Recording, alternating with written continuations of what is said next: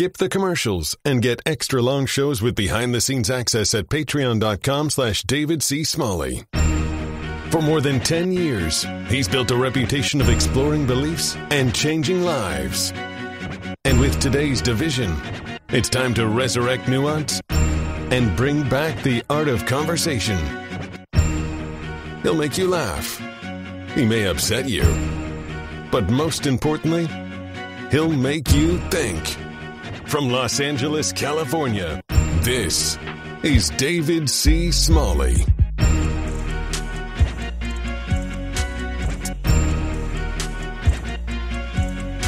Welcome to the show. Hopefully, you're well rested. uh, you got lots of sleep, and you're ready to enjoy a nice conversation among people who disagree. Um, my guest may not actually have that same courtesy or benefit because uh, he's literally on the other side of the world. Um, he is joining me all the way from Mozambique. He is a missionary. And because of the location and sensitivity of the environment over there, we are not going to be using his name today. So please join me in welcoming the missionary in Mozambique who will not be named. Thank you so much for joining me today, man. I appreciate you coming on the show. Thank you, David. I appreciate you uh, taking the time to to let me call in and have a conversation with you. Hey, this is going to be interesting, man. I mean, uh, I, I, don't know that I've ever spoken with anyone in Mozambique before. Um, so talk to me. Talk I to me. Li- most Americans don't. Uh, they couldn't find it on a map. So right. so so so do me a favor. Let's talk a little bit about. Uh, first of all, why you're over there, what's going on, and sort of the temperature of the environment, like what's happening there to make you not really want to uh, reveal your identity today? Yeah, so we we uh, my family and I we are missionaries in uh, northern Mozambique. Um, we've been here for several years now, um, and our our goal is to work alongside um, the established churches that are here um, to help train train up uh, leaders and then send them out to begin new work in in uh, places where there are not yet churches and not yet believers. And so, uh, I mean, that's in in broad terms. That's that's what we're doing here. Now that takes all different kinds of forms over here, from teaching English to teaching farming techniques to uh, doing Bible studies, um, all kinds of things. So um, that's basically what my family uh, and I are doing over here. Uh, things are a little tricky right now. There is some unrest um, due to some religious extremism that's happening north of us and, um, from where we are living. And uh, it is it has just gotten worse and worse over the last two years or so. Just uh, things are getting more violent. Um, the refugee problem uh, is just growing. I, in fact, today I was at a meeting um, for several hours just talking to not just not just um, other missionaries, but other relief groups that are here trying to manage um, the flood of refugees that are coming into our town. And we live in a town of about 120,000, um, and the estimates are that there are now 30 to 40,000 refugees that have, over the last nine months flooded into our town. And then and they're not just coming to our town they're going to other places. And so just all the challenges that come with that people that don't have anything you know they're they left in the middle of the night they hid out in the bush for um, hours and hours uh, just to keep their family safe. And then they somehow made it their way down to where we are at and so they don't have anything and so just trying to figure out what you know what what can we do to, to walk alongside these people that have really walked through a lot of trauma and suffering. So, so what type so anyway, of so, what, yeah, what, type of religious extremism is it? Are they are they Muslims? Are they uh, somehow anti-Christian, uh, yeah. or like what, what's going on? No, it's it's. I mean, they're they they claim to have ties to ISIS, and so that's when, when they started publicly declaring that it, it raised a lot of eyebrows. Um, but there, you know, the other challenge here is the the government and whether or not they're able to to um, handle the issue um, from a military standpoint, from a development standpoint, um, and so there are challenges not just with the group, but then in kind of the government's inability to respond to it. And so, but you know, they it's nobody really knows exactly what's at the bottom of it, whether it truly is religious extremism. Other, you know, some people speculate that it's just it's a response to extreme poverty and lack of opportunity that people are are turning to um, to violence, and that's a way to get what they want quickly. Um, there there is a huge uh, gas project that is is happening up here. And and so people you know there are some conspiracy theories about how that how unrest um, can benefit certain players within that that uh, that project. So anyway there there there's a on the surface it it appears to be a religious religious driven um, but nobody really knows at this point. So um, so it looks like I just pulled up the uh, the religious demographics for Mozambique, and it seems to be largely Christian. Uh, it looks like Roman Catholic uh, is yeah, like twenty seven percent, Zionist Christian is fifteen percent, uh, Evangelical is mm-hmm. 15 mm-hmm. Anglican is one percent, and then Muslim is uh, about nineteen percent. Um, is it is it a, a people yeah. from another region, or is it just like a spin up of a small? Uh, is it like a terrorist organization? Are they are they actually causing damage, or are they just talking right now? Is it just threats? Like no, no, no. There is there is murders, beheadings. I mean, it's it's ISIS like. Um, I mean, it's mm. there there there's some really bad things that have happened. I mean, villages that have been burned to the ground. I mean, it's um, I mean there are there are people that we are connected with that have. I mean, one one family we know of, they the the wife was nine months pregnant and they're hiding out in the bush, you know, until these guys have had enough in their village and left, and they've had to walk miles and miles to get to the the closest uh, little car minivan. They have these little minivans here that they transport people around, and to get them down to here, and and she had her baby safely down here. But I mean, it's just it's just a it's a rough situation if you wow. um, if you see kind of all the things that are going on. So um, but yeah, there there is um, not to not to go too much into to Mozambique and their history, but um, the Portuguese landed here uh, way back in the 1400 late 1400s, early 1500s, declared it a a colony of Portugal, and it was up until um, the mid mid 20th century, and then they got their freedom, and then they fell into civil war. Um, but but with that Catholic influence, the Roman Catholicism came in. But um, it, it's it's kind of like I grew up in in Oklahoma, and oh, everybody's Baptist. But when they say they're Baptist, they mean my grandpa was a pastor. I went to VBS when I was a kid. I mean, so they're you know they're nominal in their participation. And here you've got a lot of people that would say they're they're Catholic, um, but it's it's just comes from years and years of the Portuguese influence, and they don't they don't practice it. Kind of at their hearts, they have their traditional religion, which deals with spirits, deals with curses, witch doctors, those kinds of things. And so, whether you're Christian, Roman Catholic, whether you're whether you're Muslim, I mean, you've got your devout people in all of those religions, but um, there is many people that would identify with one of those groups, kind of that's on the surface they identify as Christian, Catholic, Muslim, um, but below that they're they really um, identify with African traditional religion. So, um, so rather than if their child gets sick, rather than going to their church to have the pastor pray for the family, they go to their family witch doctor to get a little potion or a trinket that they wrap around their their child's wrist or their stomach to to ward off the evil spirits that are causing the illness. And so, so it's a it's a mixed bag here. And so it's uh, makes for uh, interesting life. So. I know your original message to me was was more about what would convince me, what would what would make me a Christian, but I so I, definitely want to get to that, and I've got that pulled up. If for some reason it looks like I'm forgetting that, please feel free to to bring me back to that at some point. I, I don't want to leave this conversation without talking about that.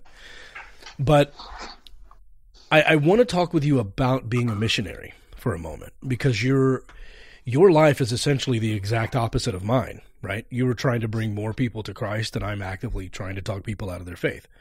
Um, and so, uh, I like that we can have a have a discussion about our positions and about our angles um, in in a respectful way. Um, I want to I want to ask yeah, you. I can appreciate I can appreciate that. That I mean, I, to me, if you if you have this guiding philosophy in your life that you believe is is true, I mean, whether I disagree with someone or not, I have a respect for those who do their best to in a in a respectful, kind way um, to try to convince other people um, to the you know the truth of their position. So mm-hmm. I, I, think in some ways we're different, and we're, we're, we're maybe playing for different teams, but I think we're both.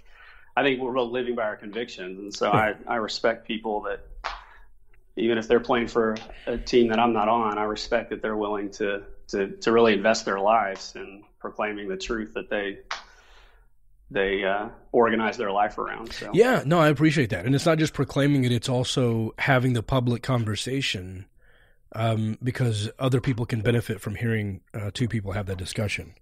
And, yeah, absolutely. Um, because a lot of times people will you know send me private messages on Instagram or Twitter about something they disagree with me on and I'll give them an answer usually and then they want to continue back and forth and debate me over instant message or something and I'm like listen I uh I'm I first of all there's character limits there's time limits uh but I don't want to do this because whatever conversation should be had needs to be had in the public sphere because other people can benefit from hearing it. So yeah. uh, that's what I hope you know today's conversation is going to do. Um, so from that perspective, um, what is your belief that would happen to someone uh, spiritually or eternally who grows up in sort of an African culture um, with the witchcraft and that type of thing they go to see their witch doctor and they live to be about i don't know 17 18 years old and then they die literally never hearing the words jesus christ never hearing about the faith never hearing about him dying on the cross. Like literally no no uh it doesn't even enter their their their mind ever their entire lives and then they die.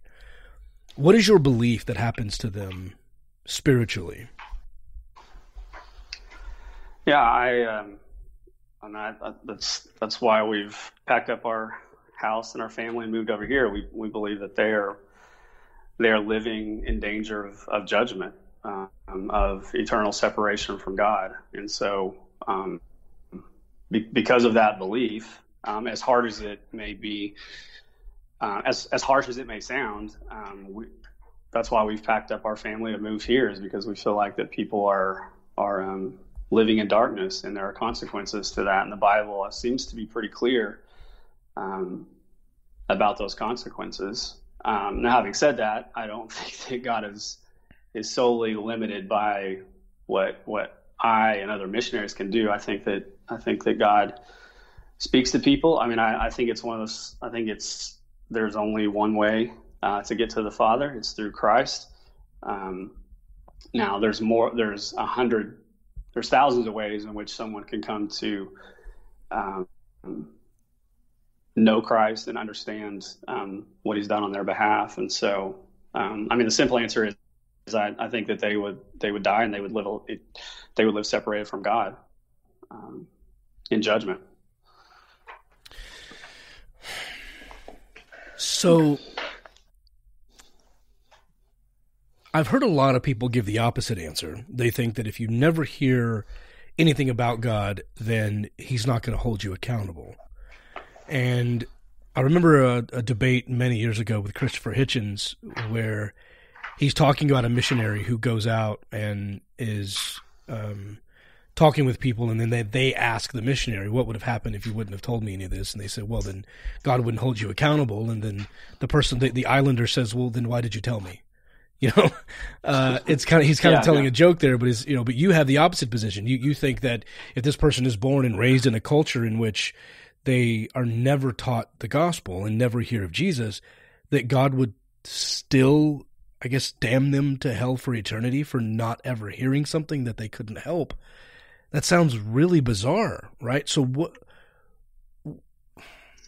I guess from a if I were to put my Christian hat on for a moment and remember what it was like to have the faith, I think I would still disagree with that because I would go, that doesn't sound like a God of love or understanding or compassion at all. I mean, that is literally the opposite of compassion. You're not including anyone else's life experiences.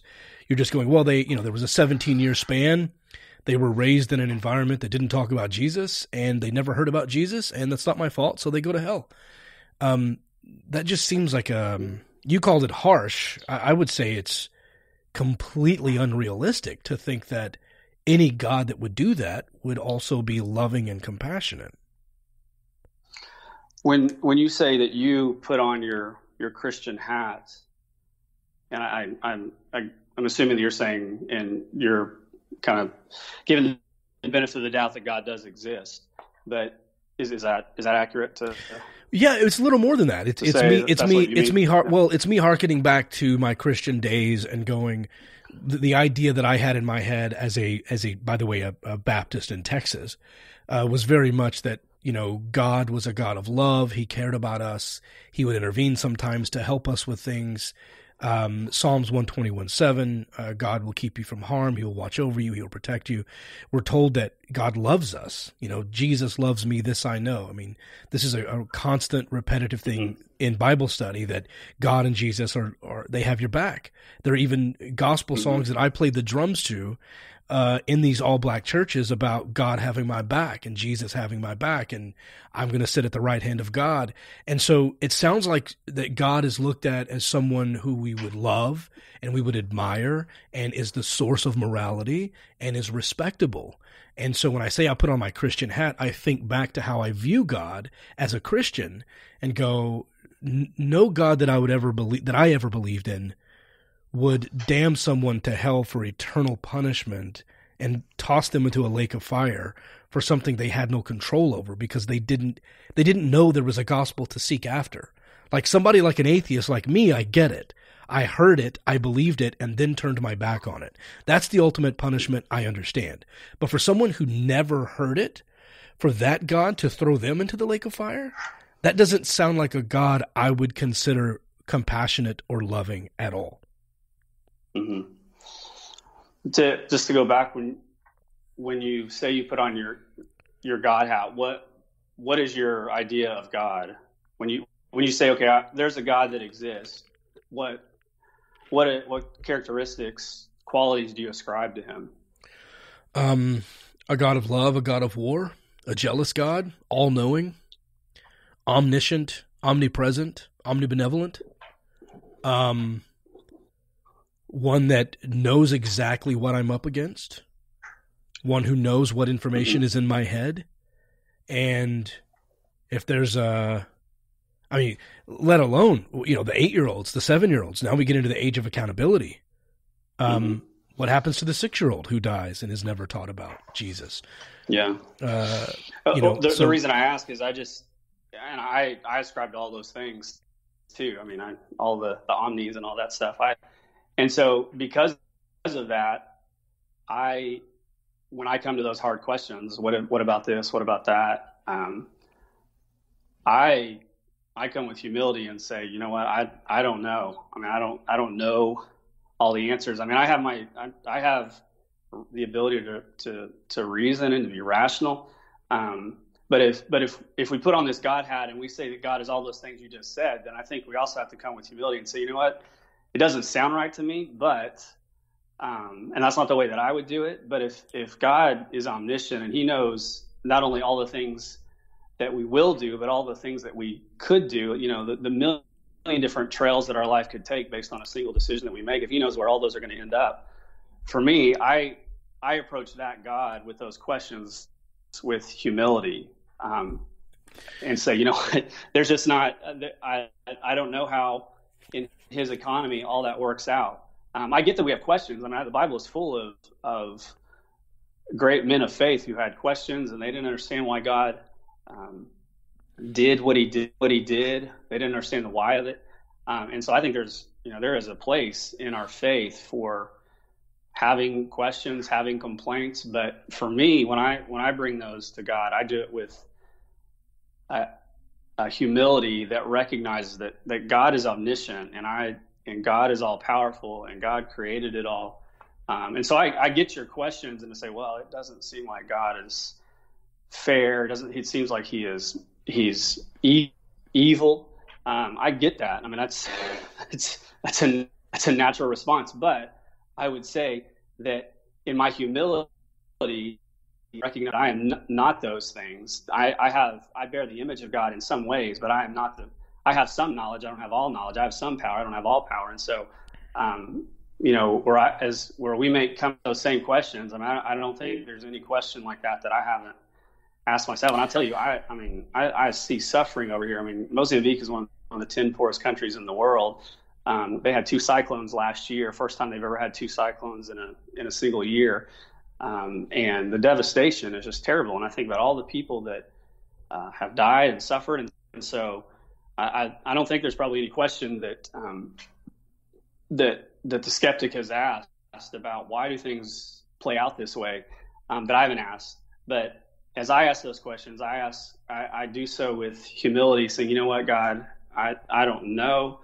Um, and so I, I, I, come in humility, just trusting um, in, in this God that I, I, believe in, this God that is omniscient and all those different things. And I know that probably sounds like a cop out, but um, I just think, I, for me, I think like when you say you put your, your God hat on, I mean, I think to, I don't think you can kind of put it off and on. I think you have, I mean, if you're going to say that God is omniscient and he's all powerful and that he created everything, that he spoke all things into existence, then I don't think that the, the, you will come to him and say, well, I don't understand you, therefore you don't exist, or you're evil because I don't understand how you work in these situations. I just don't think you can kind of put that hat on like we put a you know a hat on I think it's you have to embrace all of who God is if you're going to say I acknowledge that God exists. I don't think you can say well God exists, but he's not he doesn't do things the way that I would.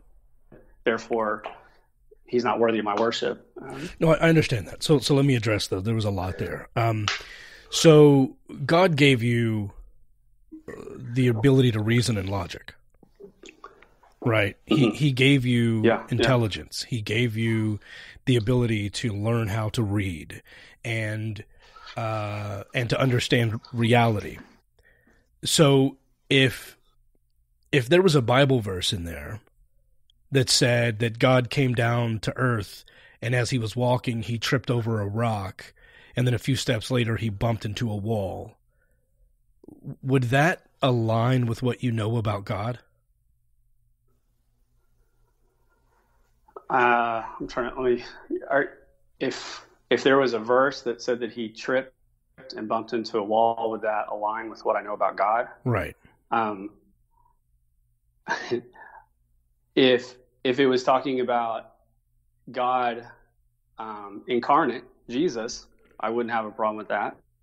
I mean, I don't, I, if if there's a verse you're talking about, it, I don't know of a verse. No, no, no. This isn't. i am not trying to trap you but, about a secret verse. Say, like, no, no, no. I'm saying God Himself. God. Yes, or something. No, no, no. The actual God. God Himself coming, not not yeah. not Jesus, but God is on earth. Remember how it said He came to the Garden of Eden and He spoke with Adam and Eve. So God can come to earth without being like I mean, Jacob wrestled with God, right? He didn't say he wrestled with Jesus. Mm, yeah. So yeah. so this idea yeah, that yeah. God can come to earth and and interact with humans is perfectly acceptable without invoking Jesus. So if God himself came to earth and the Bible verse said that he tripped over a rock and then a few steps later bumped into a wall, would you believe that? Or would you say, "Hold on, if God is you know all knowing and created everything, why would he not know the rock was there? How could he bump into a wall? He sounds fallible. That's contradictory to the very nature of God. So, would you look at that Bible verse and say there must be something wrong? Or do you just set that aside and try not to think about it? Like, how would you make sense of a verse? And I want to be clear that verse is not in the Bible. I'm not I'm yeah. not saying that it is. I'm not I'm not speaking code to trick you and say, "Aha, well open Exodus 3, buddy." Yeah. Like that's not that's not yeah. my plan at all. I'm saying that if if it said that, would you believe it because it's in the Bible or would you logically think through what you know about the nature of God and say that there must be a problem with this verse? Well, I, yeah, I mean, I think I, I I think it could be both. I mean, I think you if I just read that verse, I mean um I mean, I think it's I think it's dangerous just to to read any verse and make any kind of doctrine on a single verse without hermeneutical studies, without you know um, comparing it to other texts. And so I, I mean, I, I don't know. I think if, if that verse existed, um, I would read it. I would have to study it, um, look at the context, and then potentially um, accept it. I mean, I, I don't know. I'm not sorry. I'm, I'm, just I'm not following. I understand the line of thought here as far as okay. So so so the line of thought is so the line of thought is whenever you say I can't put my Christian hat on and then um, say I don't understand you, therefore you don't exist. I, I assure you, that's not a single atheist that has ever existed held that position. That that is not the position of of atheists or humanists in the slightest. Um, that would be absurd for someone to go. I don't understand uh, the way brain surgery works. Therefore, brain surgery doesn't exist. I mean, that's just asinine. Well, but, so, but you're. Well, I think you're. Aren't, wouldn't you say that you think that the problem of evil is a is a huge argument against the existence of God, or at least the existence of a good God? Well, to be fair, it's not, and, and I'm glad you brought that up because it's not that I don't understand or I'm saying I wouldn't behave that way, therefore you don't exist. It's that yeah. it's that the principles that we learn about God in the Bible and the principles that Christians tend to believe about God, meaning that he is loving and compassionate and that humans are his special creatures and that we are this amazing creation of his is contradictory with how he treats us oftentimes in the Bible and in reality. So it's not that I wouldn't work that way, therefore I don't, uh, therefore I don't believe in you, or uh, I don't understand it, therefore you don't exist. Neither of those are the position. The position is this this behavior is inconsistent with the characteristics we've been taught in the Bible. So it's it would be like um, it would be like learning the biography of a serial killer. And you're going, oh yeah, well he killed his, you know, he killed squirrels and skinned them when he was seven years old, and then he killed three neighbors' dogs when he was twelve, and then he, you know, by the time he was sixteen, he had killed his first two people, and then by the age forty-seven, he was just murder, murder, murder, murder, death, death, kill, and then you find out, you know, and then someone tells you a story and goes, um, I actually heard he volunteered at the local homeless shelter and opened. Um, uh, two schools in in Nicaragua and uh, donated blood every week. You'd be like, hold on, this guy did, right? It would make you pause to go. Someone who seemed to be completely sociopathic and and um, be on a murderous rampage from the time of, you know, eight to ten years old, was the same person who gave blood and helped build schools and, you know, volunteered at homeless shelters your brain would have to pause you would have to pause there. You wouldn't just believe whatever that person told you. Well why? Because it doesn't fall in line with the character of that person. So you're i'm judging god based off of what i've learned about god in the bible and what people believe about god. Now uh, from the atheist perspective i have to say a lot of times what happens in the bible is god says one thing and then does the literal exact opposite. He will say like thou shalt not kill and then he will literally kill people by the hundreds or the thousands or lay waste to an entire village. Um, statistically, we know there's got to be some good people in there, but he's just killing people because he's God. Sometimes it's a show of power. And if you ever question God or say, What's going on? You know, I know you know the verse. Where were you when I put the stars in the sky? Where where were you? I, I did all this, you weren't here it's almost like a, an ego boost of like, boy, do you know who you're talking to, like situation. So I want to yeah. be clear that I'm, whenever I say I'm making a judgment call on that, it's that if you tell me God loves me, and you tell me that God watches over me, and you tell me that God will keep me and my people safe, but then you tell me that he's literally flooding the entire earth and regrets making human beings, how do those two go together? So the the problem for atheists is there are multiple contradictory statements in the Bible regarding God's um, character. They say he's a person, he's a God of love, but there aren't a lot of acts of love from God in the Bible. There are a handful, But there are far more plagues and, and destructions and mass killings and rampages and the sort of tyrannical overlord that's sort of dominating humanity as opposed to being loving and kind and compassionate. Do you um I was curious about what you think about this like if suppose um I was trying to explain algebra to you or you were trying to explain it to me um and you're trying to make sense of it for me I'm trying to learn it but I'm I reject the single truth that 1 plus one equals two. Um, do you think that I would ever be able to understand algebra well, if, if I didn't if I didn't accept that that simple truth that one plus one equals two? If I said no, it equals three. No, it wouldn't. It wouldn't make sense. Right. Yeah, I mean that, and I mean the reason I I asked that is because I, my thought is that if if you come into these kind of conversations from the you know f- from where wherever um, without understanding these foundational truths that, that I believe are clearly revealed in in Scripture um, concerning the nature of God, concerning His His purpose for creation. Um, if you don't understand those, then you're never going to understand when He tells uh, when He tells uh, Joshua and the Israelites to wipe out, you know, the um, the the people in Canaan. Um, you just you and you can't just step into that and say, okay, I accept that. I mean, it's it's well, well, unless me, you fully embrace sorry. that that foundational well, truth, you're just it's never going to make sense. And so when people step into that conversation from a different perspective and say, well, I'll grant you that he exists, but then he does this, this, and this. I just I don't think I don't think you can until that foundation is laid and we're playing on the same field to talk about you know what he did did to the Midianites. I just I don't think we'll ever get anywhere because it, I understand it just it's not going to make sense. Why well, well, hold on. Okay, let me let me let me stop you there because I think your analogy is completely backwards. I agree with you that if you don't accept one plus one as a foundational truth, you're never going to understand algebra. That of course. But if your analogy that one plus one in your analogy is equivalent to, or is somehow analogous to um, me accepting that God created all of us, I say that's then you're using you're using top down logic. You've started with your answer and you're working backwards. I think a more accurate way to say one plus one or yeah, one plus one equals two, and that's how we can start learning algebra. I would say the equivalent to that, or what would be analogous, is that when you love people, you don't set them on fire. That's a basic understanding of love. When you love someone, you do not set them on fire.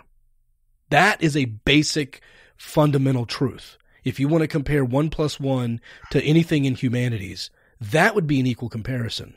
And when we work from the bottom, the fundamental, the foundation, and work upwards, that's when you get into atheism.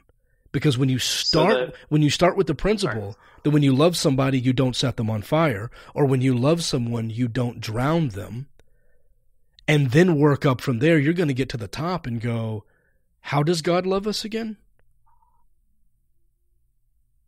So you you would say that the foundation is love and not not setting people on fire and then that based on that foundation everything that you read about script about God in scripture would be would fall apart because because that foundation is um, it's clear that he he acts in in opposition to that foundational truth that love is. I would say that God. That, you, might, you might understand you're right. P- pretty close. I, I would I would I would summarize it by saying, I think God acts in ways that are morally uh, contradictory to the way He encourages us to behave to one another. So He gives us morality. He tells us to love our neighbor, and then He drowns the entire community. He tells us to love your neighbor as yourself, and then tells us to kill people who are homosexuals in Leviticus 20:13. Well, what if they're my neighbor and I love them? So I'm supposed to love my neighbor, but I'm also supposed to kill them if they break a law that you don't like. If he if they work on the Sabbath and walk around and pick up sticks to kindle a fire for their family, then I should bury them up to their neck and throw rocks at their face until they die. But you've told me to love them. It's the contradictory nature of you're telling me to love people, you're telling me to love humanity, but you don't. You turned Lot's wife into a pillar of salt for turning around and looking behind her. I mean, how does that punishment fit that crime? What what damage did that do to Lot? What damages what damage does that do to the other people who love her, to her daughters? I mean, th- this is the this is the nature that I'm talking about. Is that if you were to if if I were to tell you just the properties of God that you believe in. And I would say just write those down. Okay, he's loving, he's compassionate, he's all powerful, he's the source of morality, he's omnibenevolent, and you list all of those things. And then I, and then you didn't know anything about the Bible. I would say this is the these are the principles of God.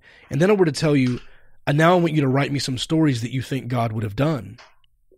And you would no doubt recite stories of God saving people and rescuing people and helping people get better and being understanding and being compassionate and loving, showing us the love that He told us to have for one another. And instead, when we read the book about Him, we find this wrathful vengeance of attacks and and and a tyrannical overlord that is just laying waste to entire villages and sometimes the entire planet. So yeah, one plus one equals uh, two. And that's a foundation of understanding algebra if you're going to work from the bottom up. And if you love people, you don't hold them underwater until they die. If you love people, you don't throw them into a lake of fire. Let's start with that and see if you can get to the top and see if you can ever understand how God does not really love us. We are expendable. We are sinners. We are disgusting in the eyes of God. We're all born broken and we have to sort of get on this impossible race to perfection before we die or we're going to be thrown into a lake of fire. Anybody who sets those rules up for humanity does not love humanity because we are definitely set up to fail and the punishment is horrendous. That was just a quick summary. If if I could yeah, I appreciate it. Gives me a chance to catch my breath.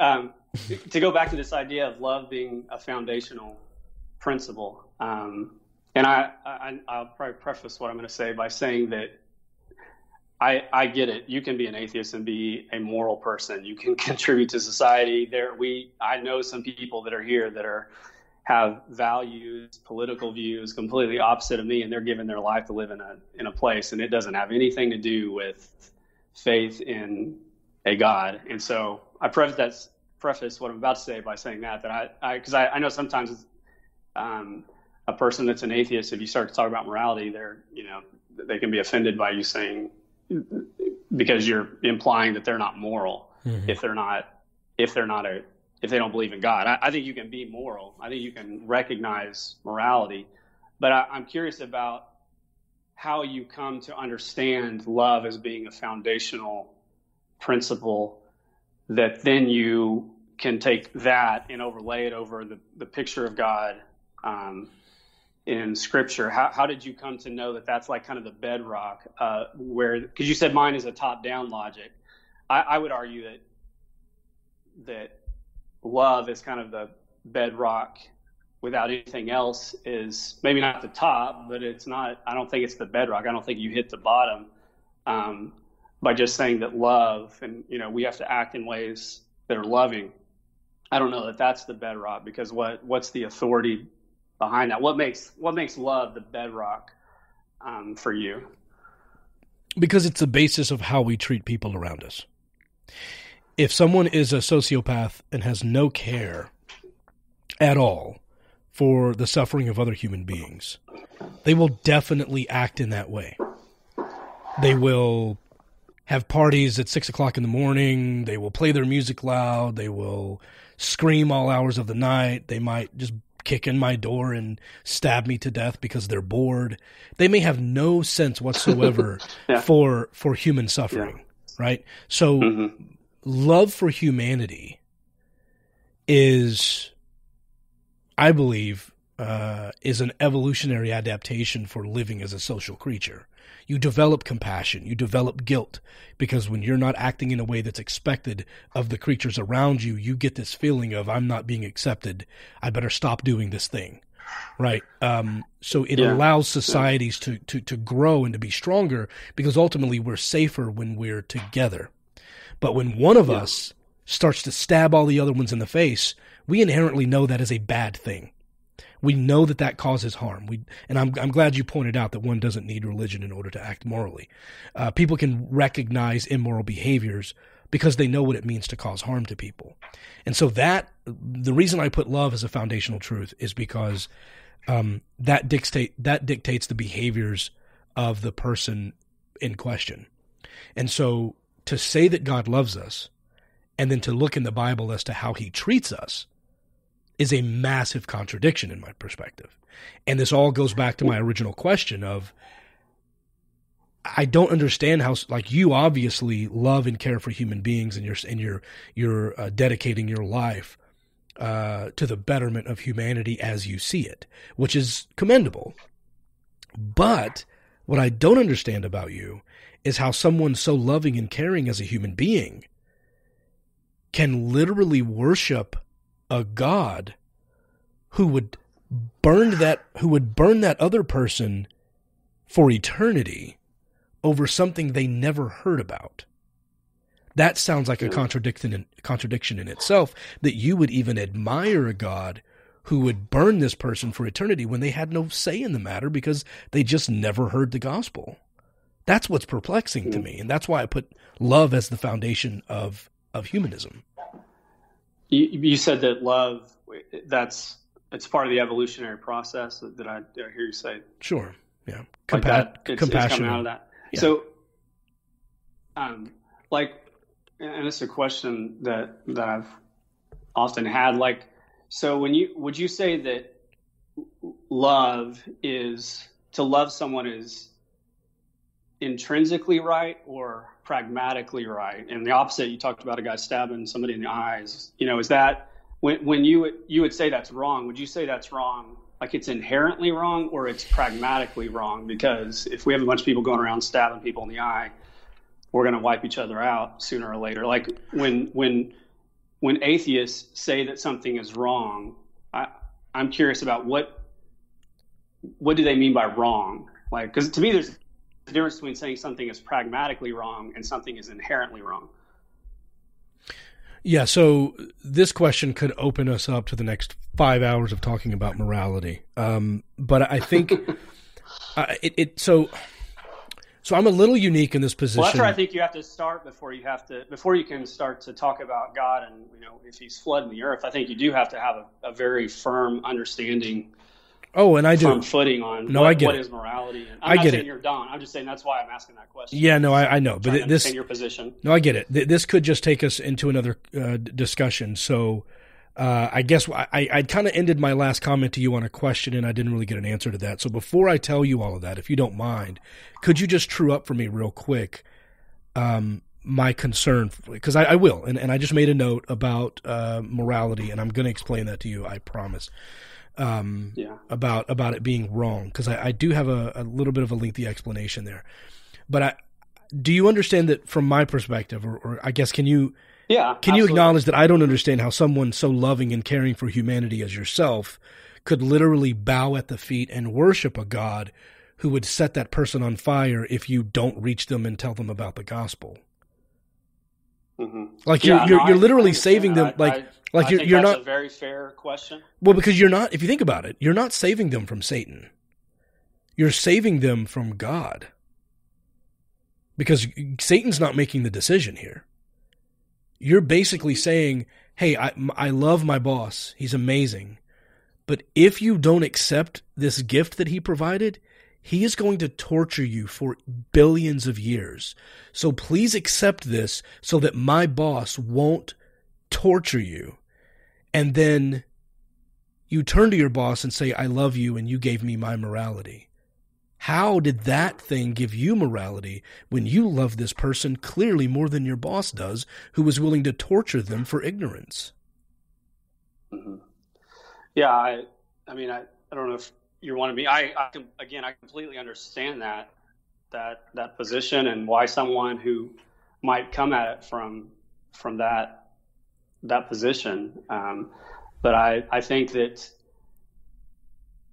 it's for me the the God that I believe in is um, w- when I don't understand something that He has done in Scripture, um, I defer to His all knowledge, all wisdom, all power, fact that He created it all. I mean, in the same way that I, if I go to a doctor and he says, you know, I'm going to take this scalpel and I'm going to cut open your chest and I'm going to take your heart out and I'm going to put a new one in.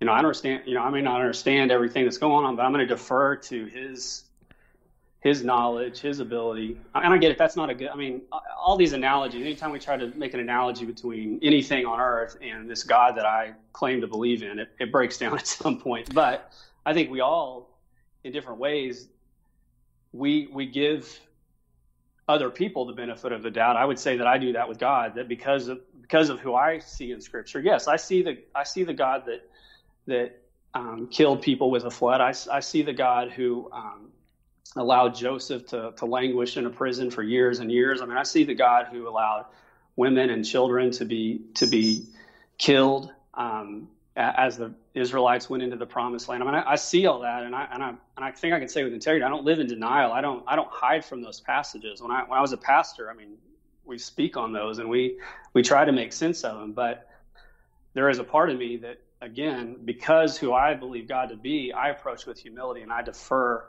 to uh, his knowledge and his wisdom in the same way that I defer to the mechanic that works on my car or the doctor that may operate on me someday.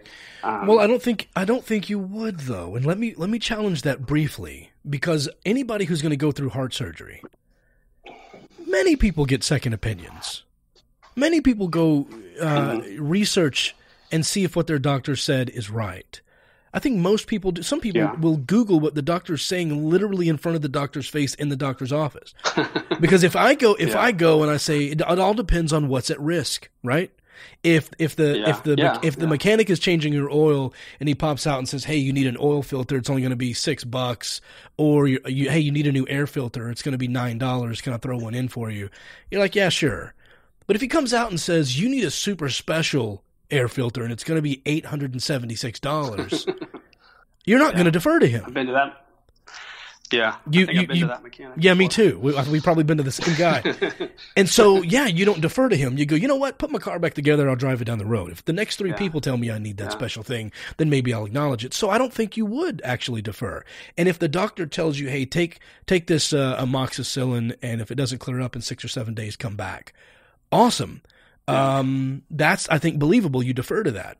But if the doctor tells you if you don't take this one pill, you're going to explode. You're like, uh, all right, I'm going to go see a different doctor because you're insane, right? So yeah. d- depending on the, yeah. the risk of what the person is is telling you to do. Now, I would say that uh, being thrown into a lake of fire for all of eternity is a bigger risk than an $876 air filter.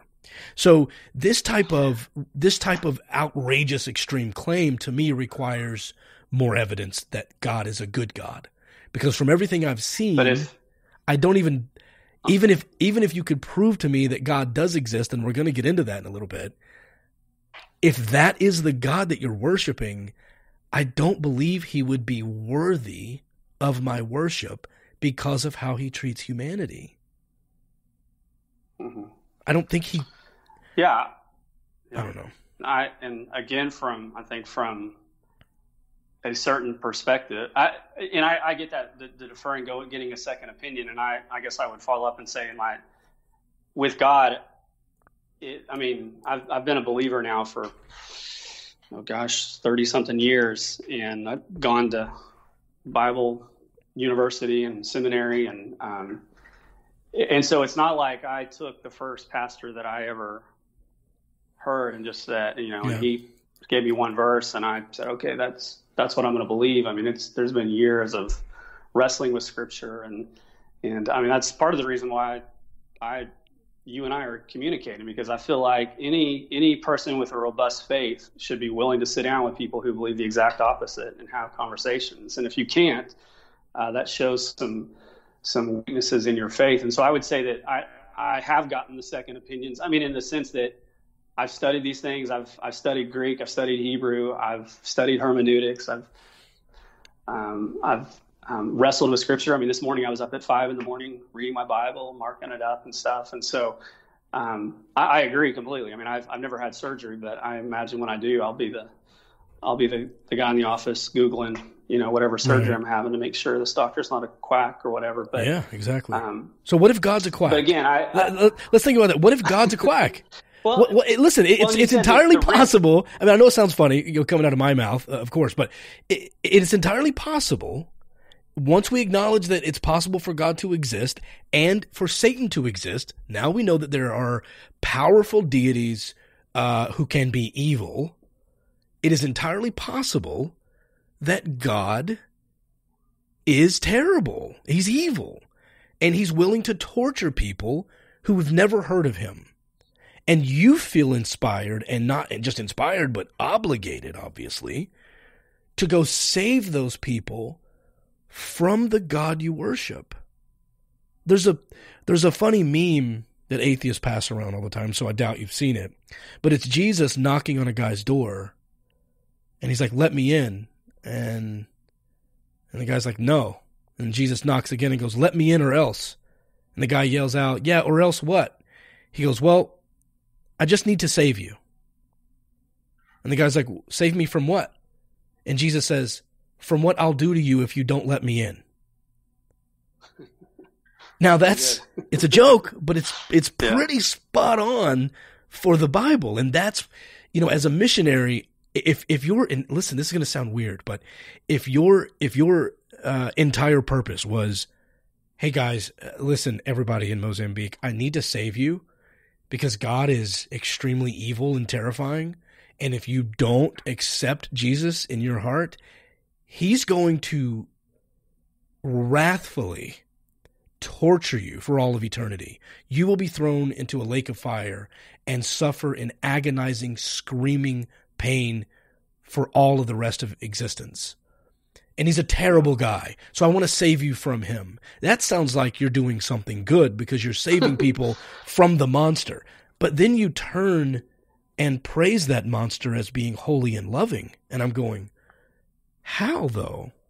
So how do you see God yeah. as loving when he would be willing to torture people who've never heard of him? I think that um, again, I mean, I, I, I just don't know if being able to explain that um, in a way that's going to make sense to to someone who doesn't fully embrace all that God is, because I, I I can't explain all of it, and I I fully I fully admit that that I, I can't explain how it all works together. But I I again I defer to um, what I I see in Scripture, the character of God that I see in Scripture. And I know you're going to say, well, but all these stories they show they show. Yeah, the Bible may talk about God being love, but you turn a few pages and there, you mm-hmm. see God wiping out women and children. Um, but again, I I defer to um, the God who created everything. And um, to me, I, I mean, I, the question that I have is, even if if God were this evil, vindictive person, does that make him any less God? Yes. Yes, absolutely. I mean, does I yes. mean his existence based upon? I mean, I'm I I want to be clear. I'm I don't I think that his character and his existence are are wrapped up in in each other. I mean, I don't I don't think he can be God without being good and without being holy and without being. Um, it, it, makes him less worthy. Powerful, those things. It, it, makes him less worthy of worship. He he could be extremely powerful, but yeah. but if my options are to go to hell or to terrifyingly go to heaven with him and be scared at the right hand of God that he's going to smite me at any moment. I, I, don't understand how either one of those seems uh, like a happy place for eternity. So sure, I mean, look, yeah. if if if I was trying to get you to loan me money, and I said no, I'm going to pay you back, and then you checked my credit, and I I had the lowest possible credit score. I don't know what that may be, 350, 400. If my credit was just basically non-existent, and you're like, you're like, dude, you've never paid anybody back ever. I'm like, yeah, but I'm I'm yeah. telling you to believe me. You wouldn't believe me because I've I've shown you who yeah. I was. I've shown you my character. right? And and when when when when you talk about the, I'm sorry. Well, I mean, I want to just wrap it up with this. Maya Angelou said, uh, "When someone shows you who they are, believe them the first time." Right, mm-hmm. and and that's what I want to get yeah. across here: is God is saying that He's good, God is saying that He loves us, but He sure doesn't act that way. So if if your neighbor is telling you, well, "No, I, mean, I totally," if your neighbor's going, "No, I totally respect you," you're like, "All right, cool." And then the next morning you wake up and he's thrown all of his trash into your yard do you look at your yard and go, oh, he must have a reason for that because he said he respects me? No, you're going to go out there and go, hey, what you're doing is not in line with what you said. Do you respect me or not? Get your trash off my lawn. And you're going to have an issue with it. But for some reason, when God says he loves you and then dumps trash in your lawn, you go, I must be the problem. I must be broken. I must not be smart enough to understand how this garbage all over my yard means he respects me. I'm just not smart enough. I'm too stupid to understand that trash in my lawn equals love. I'll figure it out when I die. That doesn't make sense to me. I, I mean, I again, I, I, recognize how analogies break down, but I, I mean, to to a one year old baby, um, a mom takes them in to get vaccines. Like, um, th- there's no way that that one year old can understand the science and the reasoning behind um, what that mom is is doing. Mm-hmm. Um, and in that moment, they may, I mean, they may feel like their their mom is a tyrant and an abuser, and um, and so I, I, think that there's again analogies break down, but um, I think the understanding between us and God is much further than the understanding. There's a greater chasm between our understanding and His than a parent and a child. Um, and so I again, I mean, I I don't mean to keep going back to it, but I defer. I I, I recognize my inability to understand all the things of God, um, and and so I continue. To, that doesn't mean that I just set those passages aside. I never preach on them, never teach on them. It means I continue to wrestle with them, um, but I I still defer to this God who is all powerful, who spoke things into existence and really, that I mean, to me, I, I, I think the most consequential consequential verse in all of Scripture is Genesis one one. That if you know if He created everything, then everything else um, has to be filtered through that that idea that God spoke creation to existence. Um, so if that verse is true, that that really affects everything else that I that I believe. And so I, I'm not sure like I, I guess you're saying that there's if he if God do, does exist and I go tell people, then those people now are guilty of they're in danger of being judged because they didn't know. Um, but I I think what I would say from your side, if all this stuff is for naught, if if uh, he doesn't exist, and I'm you know I'm over here sweating on these bumpy roads rather than being able to eat Chick fil A or something in the States, um, that stinks. But I haven't lost a whole lot. Um, I don't I don't see that there is. Uh, I mean, it's it's the whole Pascal's wager. Yeah, um, I was going to say that. I, I, think you have lost a whole lot, though. I think you have. I think that um, personally, that a life of humanism and freedom is far more rewarding than a life serving a God that you're terrified of. And there it's no secret well, that Christians fear God.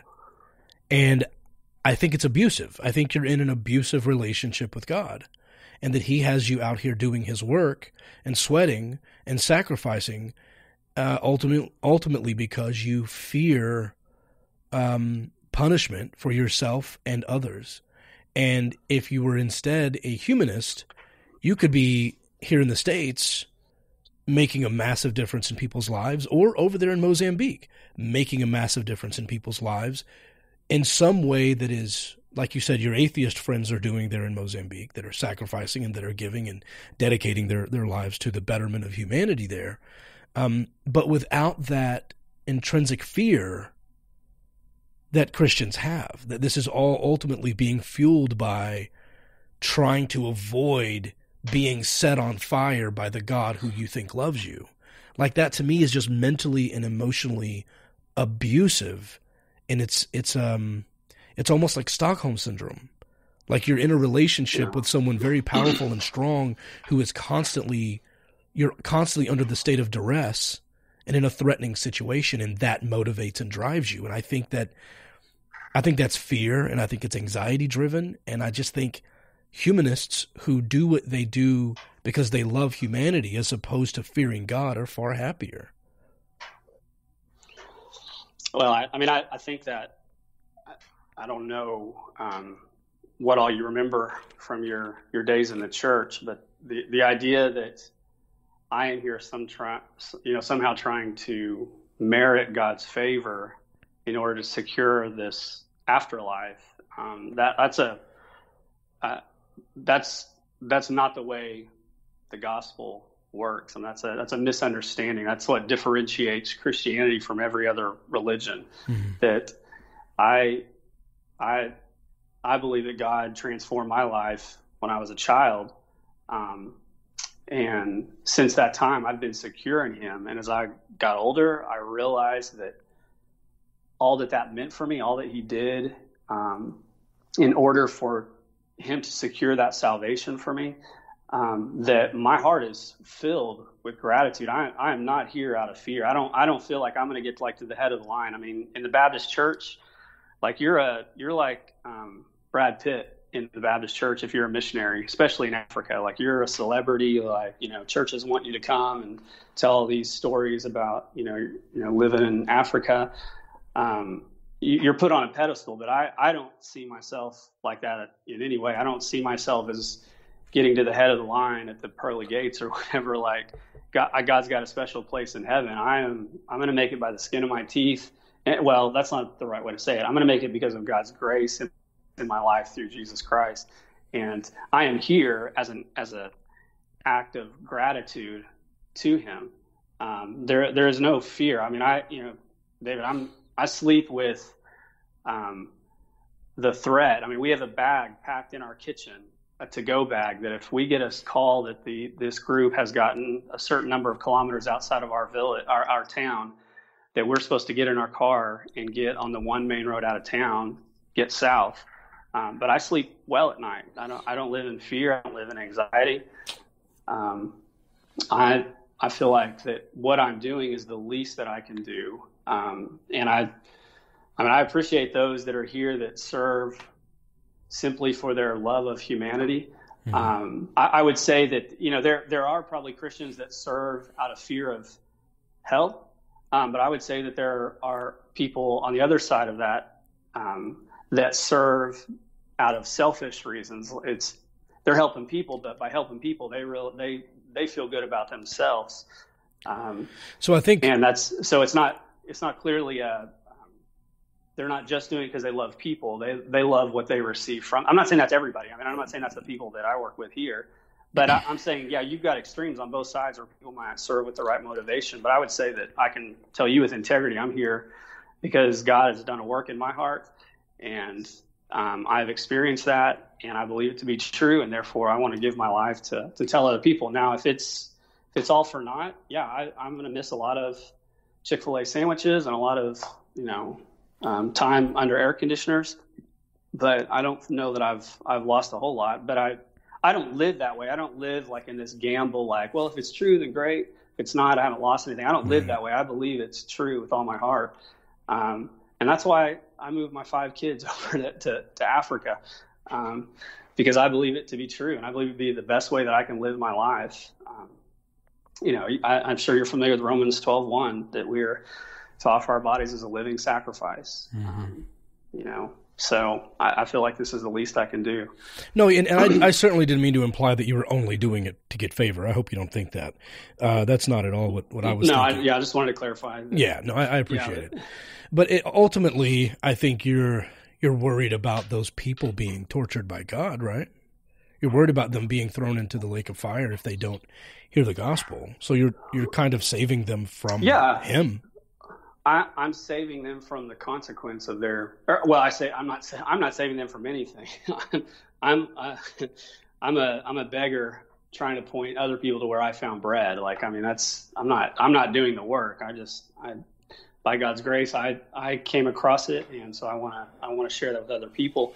Um, but yeah, there. I mean, there is this urgency. I mean, when these cyclones hit, when people are coming flooding into our town with all these stories, I mean, there's definitely this sense of urgency. Now, it's it's um, it, it's it's this sense of urgency that they are going to be judged um, according to their sin, and so um, and so yeah, I, I I think what better thing could I do if if we have 70 years here and an infinite number of years in the life beyond, what better way to invest my life um, here than to to do all that I can to to point other people to where the bread is, and so.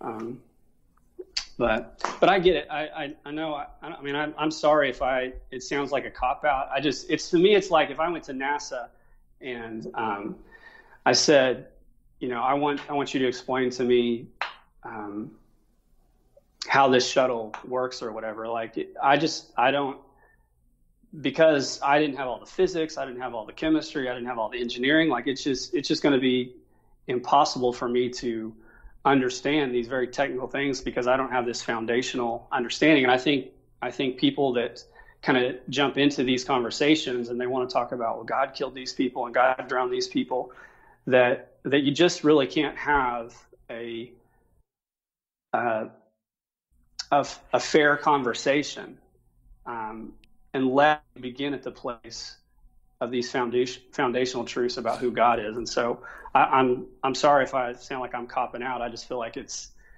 I defer to this God that I believe in in the things that I don't understand. I still wrestle with them. I still am seeking answers, um, but I I don't know why God has done some of the things that He's done. Um, but I but as I read Scripture, I mean I, I see a lot of things that he has done, and those the, the the good things, the sacrificial things, the gracious things that he's done, they temper my response to the things that are difficult for me to swallow. Like what? The good things that he's done. Yeah.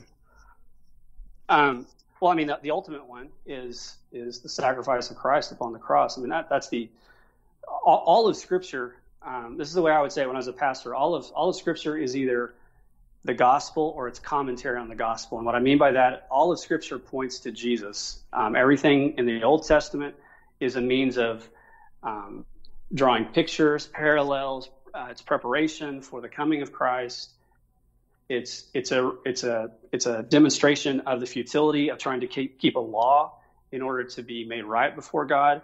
It, it's presenting the need for Jesus. Then you have Jesus in the Gospels. Then you have the rest of the New Testament that talks about the how the life, death, and resurrection of gospel uh, of Jesus. Um, through that, the church was birthed, and how that gospel was then spread throughout the world. And so, um, I mean, if you're asking for how do I know that God is good, I mean that's that's the ultimate thing. And I know, I know that uh, you you would probably say, well, how do you know that Jesus existed, or how do you know that he was resurrected? No, no, no, no, no. Let me let me. but but I would say that that's that's the clearest thing that I that I would point to that God has has revealed His love to me ultimately through Christ, and there's nothing else that He needs to. If He never did another thing for me, if He didn't bring me a beautiful wife, if He didn't bless five kids, if He took it all away like He did with Job, I believe that I could say with integrity what He did on the cross for me, um, and not just for me, but for all people, is enough. Um, and so, I mean, that's the thing that I would point to ultimately. Okay. Uh, I mean, I don't, I don't see how killing someone killing their son is a good thing. Uh, it sounds terrible to me. Um, well, yeah, and I get that, but I, but, I again think like but to, you said, to a one year old getting a giant needle, giant needle in their arm doesn't sound good to them. Like that, yeah, it's a little, it's a little, it's a little different though because the one year old doesn't. Well, I mean, I know it's different. I know it's different. it's different because the one year old doesn't do good things for people and bad things to people. The one year old is just barely existing.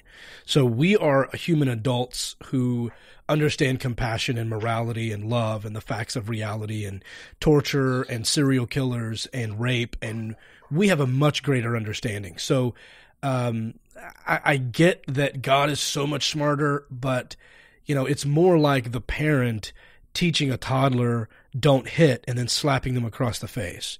That's what God is doing. He's telling us not to do things and then he's doing them. And then when the, the kid ever looks back at us and goes, Why do you tell me not to hit while you're slapping me? Um, the response is, "Trust me, there's shit you're going to understand later when you're older and you don't understand now." Yeah. It just seems it's just not. Nobody would look at that person and call them a good parent, but when God does it, it's just sort of accepted as oh, do do as God says, not as He does. You know. Um, I guess I've had a missionary yeah. on the show. I've had a missionary on the show before, and I think part of the pushback came from this idea that he was almost sort of undercover in a way, like they would. Um, they would go over and say, "Oh, we're here to teach English classes," mm-hmm. and once the door was closed, they would sort of teach English, but it was for the purposes of reading the Bible, and they mm-hmm. were sort of teaching Christianity under this cloak. Uh, also building homes and feeding people, but it all came with Bible study, meaning if someone did mm-hmm. not believe, did not want to believe, did not want to join the religion, but had no place to eat or live, they would come and sort of be forced to go through that in order to get their meal or their home built or to get fresh water or something like that. And that's something that sort of left a bad taste in my mouth about missionaries. So can you speak to that yeah, for a moment yeah. as far as your you, your humanitarian acts and how those overlap with with your your uh, your actual missionary work? Yeah, there I mean there is no condition put on people having to believe like us or people having to convert. I mean, that's one of the things that that um, is is a cornerstone of of our faith. It's it's not a confession. It's not it's not like other religions that you you know you do this this pra- you pray this number of times, you do this fast during this this month, you do this this and this, and um, you're good to go. And it doesn't matter what you feel in your heart if you just recite these things that you don't even you might even understand these prayers that you're praying, but you just recite them, you're good. Um, Christianity is not like that. Christianity is an inward religion. Um, I mean, Jesus talks often about the, you know, the Pharisees and how their their religion they wore it on their sleeves, and he calls he calls that out constantly. And so I would I would say that in light of that, I mean, you're going to find bad missionaries. You're going to find bad pastors. You're going to, I mean, you're going to find people that do that. I mean, there, there. I will say there is this temptation. If you're, depending on how you're funded, um, if you're not writing back good newsletters that you know you're seeing lots of converts and you're seeing this and this happen, then you know those those donations might, you know, they might fall off. Um, and so there can be some missionaries that feel like they have to they have to have good numbers, they have to have good stories, and so that can you know that can cause them to be more pushy in what their you know their ministry. But for us, mm-hmm. I mean, for me personally, I would say that I it, it, it makes no difference to have people that can simply recite a prayer or or show up at a certain place um, on a Sunday morning or whatever. Um, it is all about heart transformation, and therefore, you know, it's like it's like me putting a gun to somebody's head and say, "Love me." Like I get, I mean, you don't do that because it's not the way love works. You can't force someone to love you because you have a gun. I mean, they can say it, right, but they can't mean it. And the same thing, you can you can say you have faith in Christ, but um, it means nothing unless there is this inward well, um, volition within you that that compels you. And so, if I'm if I'm saying to someone, "You come to faith, and I'll feed you," I'm I'm defeating uh, you know, I'm, def- I'm it's self defeating. Well, for what? Well, let me say though. Want. So I, you, you you may not say that outwardly, but if they know that that's what they have to do to get food, and they show up and deal with the Bible study, that's going to happen. And I have to say, when when you when you just said, "I'm not going to put a gun to my gun to someone's head and say, love me," isn't that what the threat of hell is? That's exactly what it is. It's duress. It's love me or go burn in hell. Uh, right? Well, I, I, mean, that's if that's reality, then isn't it a loving thing to communicate that to people? I mean, if I believe that's a if that's the reality, it's unloving to not warn people. I mean, if a bridge is out and I say, "You better turn around or you're going to die," I mean, that's that's a loving thing to tell someone to turn around and not drive off the bridge. I mean, that's because that's the reality Oh, okay, so okay. Let me reality. let me let me a add a piece. thing to do. Let me add a piece to your analogy so that we're on the same page. Yes, it is a loving thing to warn people that the bridge is about to go out. But you have to add in there that that the guy down the street is about to make the bridge explode because he has total control over it. And what you're saying is don't go over the bridge, it's about to explode. And then after it explodes, you're like, now I'm going to go love that guy who just destroyed it all. Like you're you're right to save them from something terrible. I understand that that's your passion. But then you love the mm-hmm. thing that you're saving you're you then love and worship the thing that you're saving them from. And that's what I don't understand. Yeah. I don't Well, know. I- You're just going to go back yeah, to the understanding I thing. I think that that's a it's a. I'm sorry. I just feel No, like no, I- we'll end up talking in circles. I do think. Yeah, I'm sorry. We'll end up talking in circles because I think you'll you'll probably Well, just say. say that's. "Mm, Yeah. I think we're on a delay. I'm- Um, I'm here now. Are you? there? Yeah, I'm good. I'm good. I, what I was getting at is I, I think that that we may just end up talking in circles because uh, anything that I say I don't understand about your faith, you're just going to tell me that you know you don't. You know, our understanding isn't isn't close enough to God's. God has all the answers, and I just to Well, me it's just circular. You you would say that you're a, a naturalist or a. Yeah, I, I, I usually don't get into those debates of methodological naturalism. Um, I, I find that they Well, can. I I would. Yeah. Well, I would just say that I I mean to me, you have you have an assumption about how we got here. Would you say that you understand every aspect of of that, or are there things that you just say? The the other evidence that I have is so overwhelming that even the gaps are not enough to cause me to think otherwise. What I would say is that I started in your position, did a lot of research, ended up discovering that for what we know now, naturalism is the best explanation. I don't just wholeheartedly accept it. And I think the reason I push back is because like earlier you said you said that yeah, God has done some things that in the Bible that make me uncomfortable, and some way, like he, he, you sort of acknowledged that he had done bad things, and then you said, but all of the good things he's done uh, are sort of worth overlooking all of the bad things, and and I want to focus on that. And then when I asked you what it was, you gave me one example of him basically killing his son for us, which sounds terrible. So I, I don't know that there are any other good things that you would be able to say. I mean, other than like human sacrifice is his one good contribution. Like, what is so great about God that makes you overlook all the terrible things? Like, what what else has He done that eh, has impressed you so much?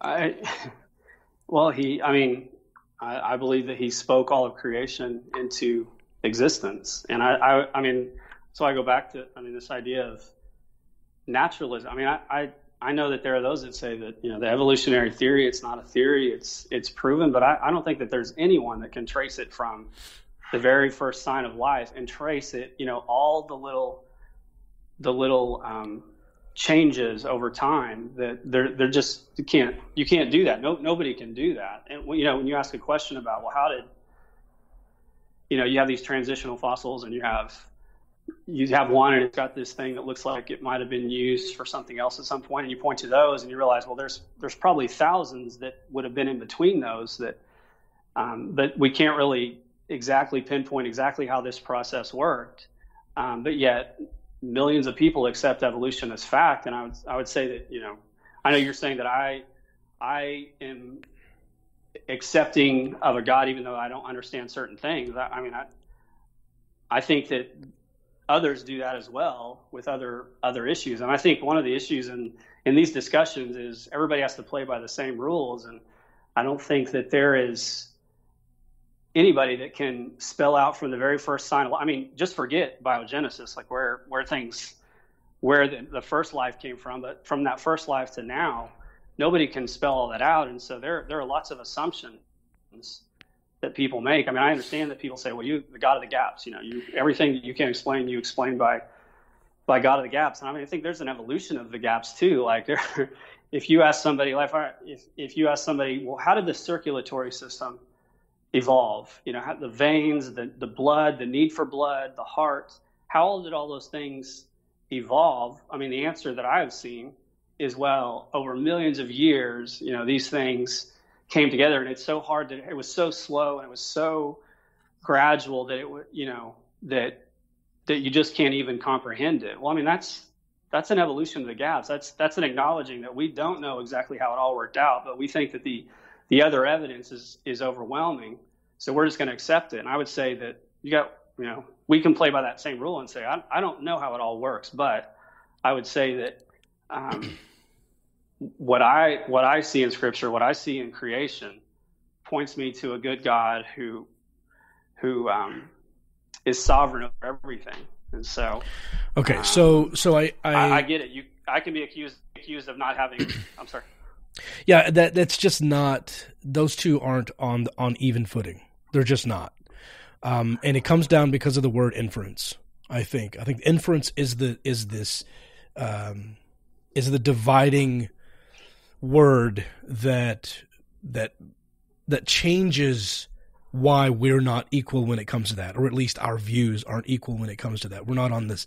It's not like we're both in the same league and we play for different teams, um, because inference is specifically coming to a conclusion using evidence and reasoning. So just logic, right? So inference, it would be an inference to assume, um, or it would be it would be logical to infer that t- tomorrow we're going to see the sun because it's happened over and over and over and over. Um, when we pull a specimen's DNA and look at it under a microscope, and we pull a specimen's DNA that's somewhat related to it, we can infer that these two things are related. You can look at the DNA of broccoli and the DNA of cauliflower and go, this is this is basically the same thing from a DNA perspective, from a genetic perspective. Um, you can look at bananas and pineapples and see how different they are, but see some genetic similarities. You can put your hands on the on the science. You can measure the acidity. You can measure the sugar count. You can um, see how long it takes to grow them. You can look at the sizes and the colors. There's a lot you can empirically prove about plants or animals being related. You can take DNA tests. Would you say that infer and prove is this? I'm sorry, inf, just before you go on, infer and prove. Are you using those no. synonymously? That because no. you can infer something, you can therefore prove it. No. Okay. What I'm saying is, okay. I'm saying is that to infer that um, a gorilla is related to a chimpanzee.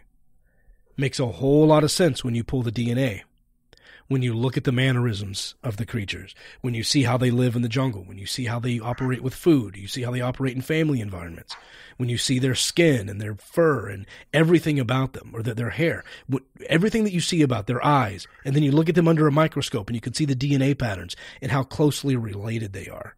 Um, and then you look at chimpanzees under the microscope next to humans and go that it's like 98.9% the same. You have a human DNA, a human genome, and the, the, the, the chimpanzee genome. 98.9% identical. It makes a lot of logical sense to infer that the two are related.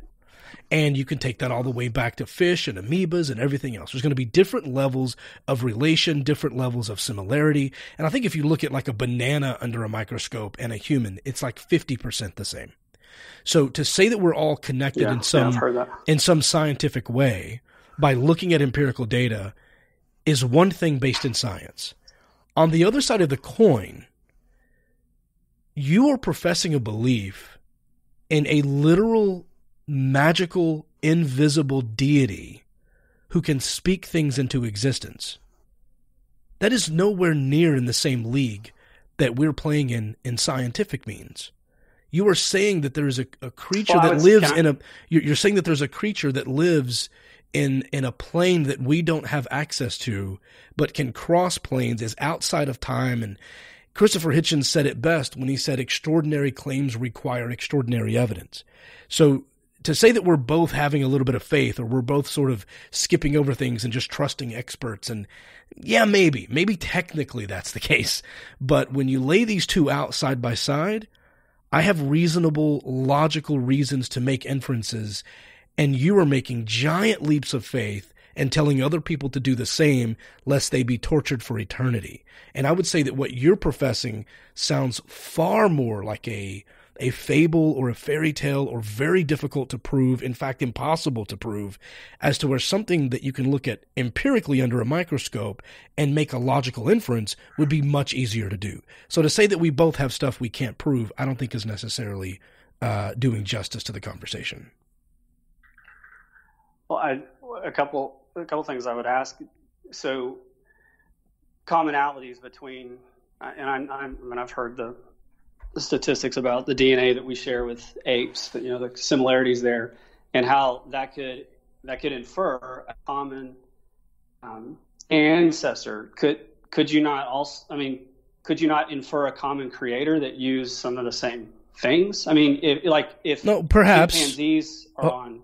Well, perhaps, Earth, but I think it would be. And you have humans are on Earth. Would it make sense to have one person to, you know, per, people to breathe air, and then that the creator would create something else for the chimpanzee to, or that um, humans would would be sustained by one kind of um, food, you know, that's that's found in abundance, but you know, animals would be they would have to have some other kind of food that was completely different because you know for them to eat a, a leaf off a plant would not do anything for them. I mean, to me, if you're going to say that some, the 98% infers common descent, I, I, mean, I think you could also say it it could infer the common creator. Like it's like cars. Like Toyota makes a truck and Chevy makes a truck. They both have round rubber tires, not because they're made by the same by the same people or in the same factory, but because they they have to play by the same rules on the road. And so I I get that you can you can infer that, but I think you can infer other things too. Yeah, so I don't think that it would make sense for that creator to be called intelligent. Because why would he replicate genetic mistakes? Why would why would one in 33 human births result in a in a birth defect? Why would we have like massive genetic issues uh, within humans that are also seen in chimpanzees?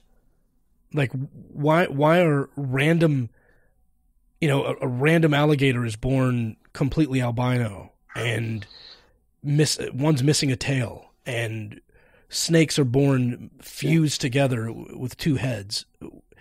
These like if you look at this from a biological perspective and say random mutations sometimes happens then we can it's it makes sense. Again the inference is there. But when you invoke god as the intelligent creator and an, a designer that only begs thousands of more questions as to all the problems that we deal with. If humanity is your reason for being here Yet you send or allow tornadoes and earthquakes and hurricanes and things get ripped apart and destroyed, including churches, including houses of worship, including, you know, uh, pastors uh, who are doing great things for the community. Now you're invoking God only begs thousands of more questions. But if you take the stance that back up and go, wait a minute, evolution is not about perfection. Evolution is about adaptation to a specific environment and surrounding. And so it's about adapting it's about adapting and making making changes, not linear going from dumb to genius. Right? It's not going from simple to super complex. It's about it's about adaptation. And evolution doesn't care about you. Evolution doesn't love you the the climate, the evolution of our planet doesn't love you or care about you, and it doesn't consider you. It doesn't care what you're doing when when the um, the uh, plates start to move under the earth. It doesn't care if it's a convenient time during your meeting or birthday party or wedding. It, it just happens because it happens independent of a creator putting things into motion. So no, I, I don't think that having similarities in design points to a similar one creator because it would really mean that that creator is replicating multiple mistakes, multiple mutations, and you know causing one in thirty three human births to have a defect. I don't see how we can look at something like that and and call that uh, that that designer intelligent. I think it makes much more sense to look at the empirical data and say that this This is a natural evolutionary process. Well, I, I, I think, I mean, to go back into scripture, I mean, I think there is an explanation for much of the um, suffering, the, the issues that we have with, with genetics. I mean, I think I think the Bible gives an explanation for that. But my as I as I think about this I, idea of inference, I, I don't know how you get from inference to proof. I can see how you could say, well, the more things that infer, the closer you can get to proving, but you can't actually prove. And I think you have to say that, well, it's possible that that it it points to something else. And you, you mentioned logic and reason. Well, I mean, some of the things that had to have, had to have happened for evolution to take hold for, for you know from the very beginning to all the way up through now you have to accept that things happen that don't happen um, i mean you talk about creation and inference like we infer that every creation has a creator. We we infer that laws have lawgivers. We we we infer that causes have effects. Those are things that we see today. Um, we we infer that um, order um, is not uh, doesn't come out of chaos unless there's some other organizing factor. Um, and but those are all things that you had to, if, for evolution to happen, you had to um, have something created out of nothing, which we, we don't have anything thing to point. We can't point to anything in creation um, that, that, we see today, that we can observe today, where things are being created out of thin air. Um, I think about laws. I, I mean, oh. where where do we see you know laws in a country that exists without there being some lawgiver? Um, where do we see causes um, that, or where do we see effects that don't that are not produced by causes? I mean, to me, when you talk about using logic and reason and inferring, there are lots of things that I think we can use if we're if we're playing by the same rules to infer. Well, but we don't something though. beyond us that created it. But we don't play by the same rules because if I why, why well because you think well because you just said that something can't exist without being created. But you believe your God was never created. So you get to invoke magic anytime you want and say God doesn't pertain to these rules. Everything else, everything that exists was created. But I can't I can't play by that same. I can't you won't meet me there. You won't say, "Well, you're right. Something can no. exist without being created." And by the way, if you do any study into uh, quantum mechanics, you'll find that virtual particle pairs do pop in and out of existence, and theoretical physicists aren't exactly sure why.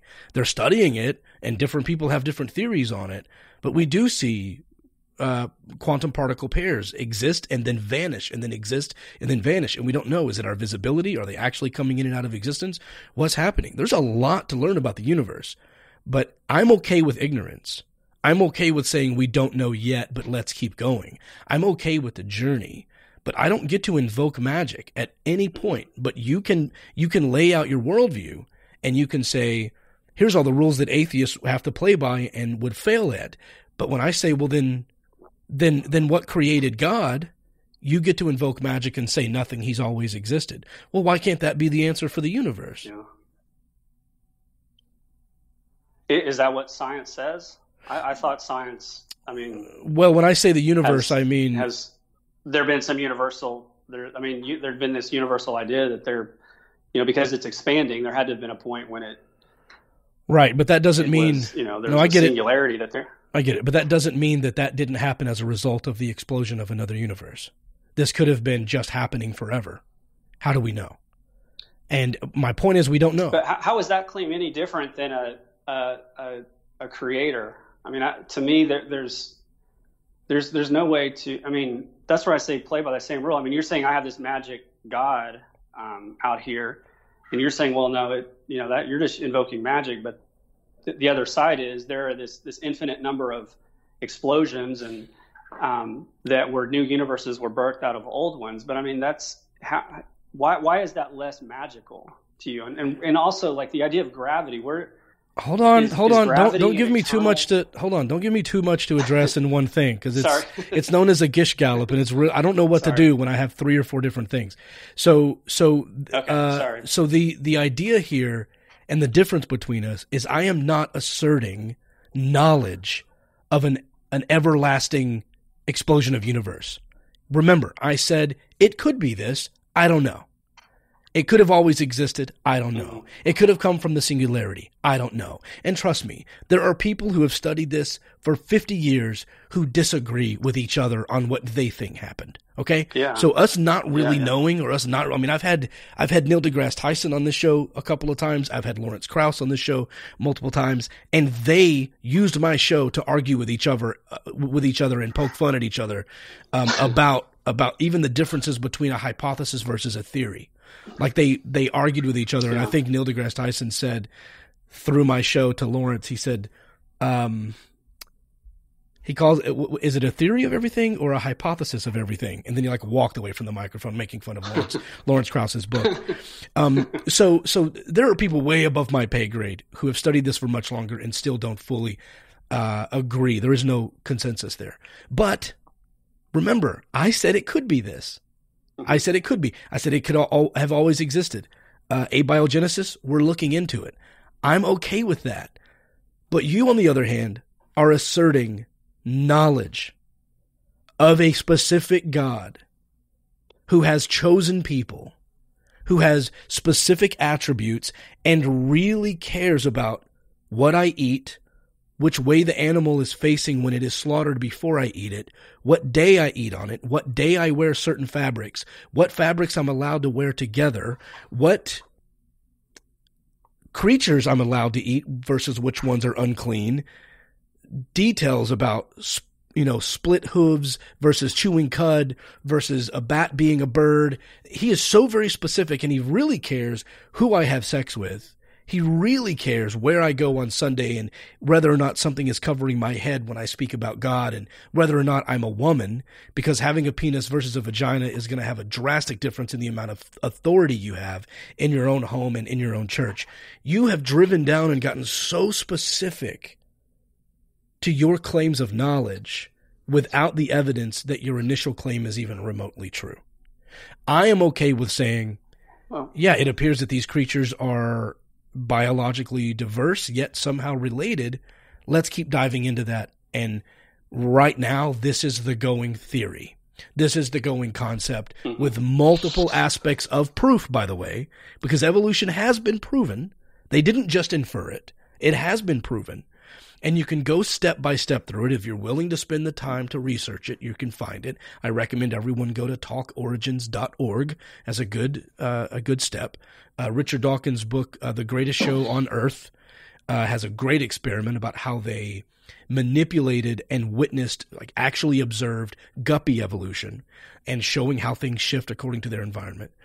And we can even get into speciation as to what civets can mate with other civets, and yet they're still considered in the cat family or cat kind when we talk to creationists. Yet they can't reproduce with certain other types of cats.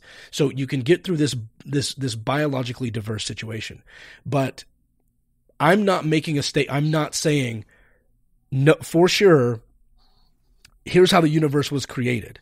And not only do I know how it was created, but that universe wants you to eat certain things on Fridays, wants you to kill your sheep and rub some blood outside on a rock or it's going to kill you. And by the way, if you don't believe this certain thing, it's going to put you into another universal planet of fire if you don't believe all the things I'm telling you without proof.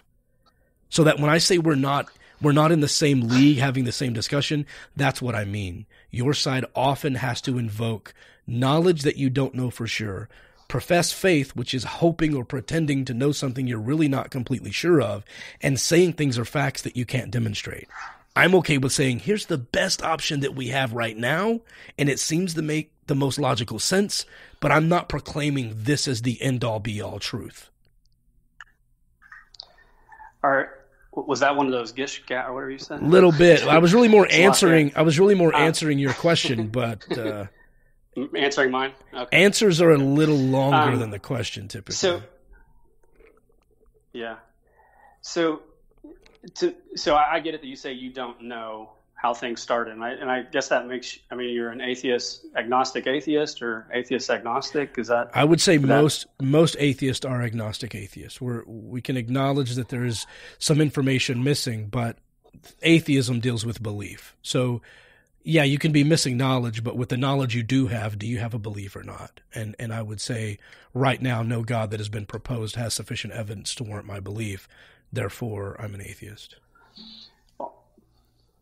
Because I, I think I think you can exist as an agnostic in theory, but not in practice, because you end up living a certain way according to a certain set of beliefs, and you can say, "Well, I don't, I don't know, you know, how how we got here, but I, but you're essentially, I would, I mean, I, if if this is wrong, forgive me, but you're living as though there is no God, that there is that even though we don't know what it is, there is some sort of naturalistic explanation. So I, I would say by even though you would say, well, I don't know how it all happened, you you orient your life in such a way that reflects either that it happened in a naturalistic way or it happened according to a, a God. And so I, I, I, that's one of the things I think that agnostics, they feel like they can get out of being pigeonholed because they say, well, I just don't know. But no one no one lives that way. No one lives as though they don't know things. I mean, they all make truth claims. They all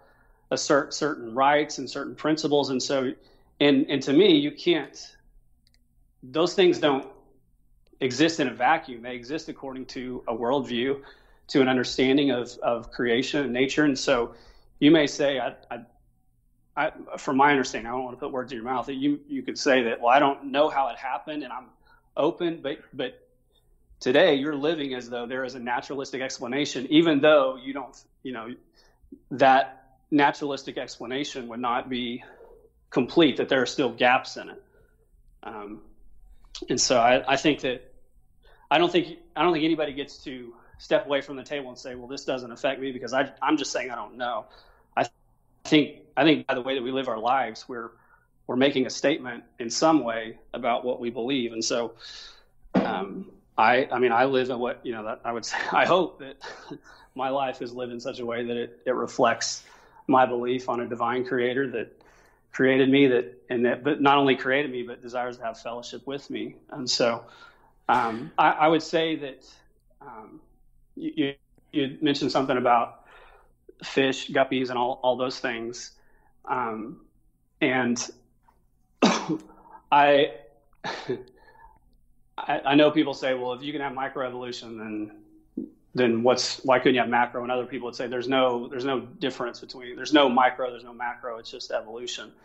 Um, but I, I would say that that um, if if those are the things that we point to, civets and guppies, that that that somehow and I know there's lots of other stuff out there. I, I know you didn't like give an exhaustive list of everything that points to evolution being being fact.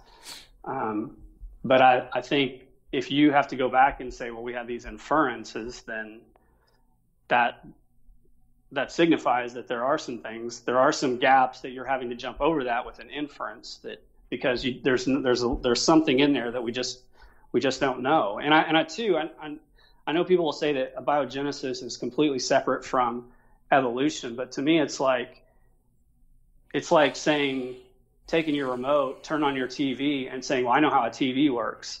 Like, no, there's thousands of things that have to happen to make that TV work in order for you to even get to the place that you can turn that TV on. To me, to say, "Well, we don't know how how it all started, but from this point on, we actually got live, we well, hold we on, hold on, hold on, hold on. Aren't you doing?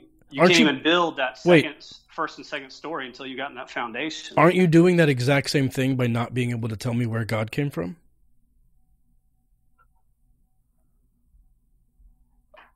I, I agree, but I'm saying the, we have to play by the same rules. I'm saying that I believe in a God that was uncreated.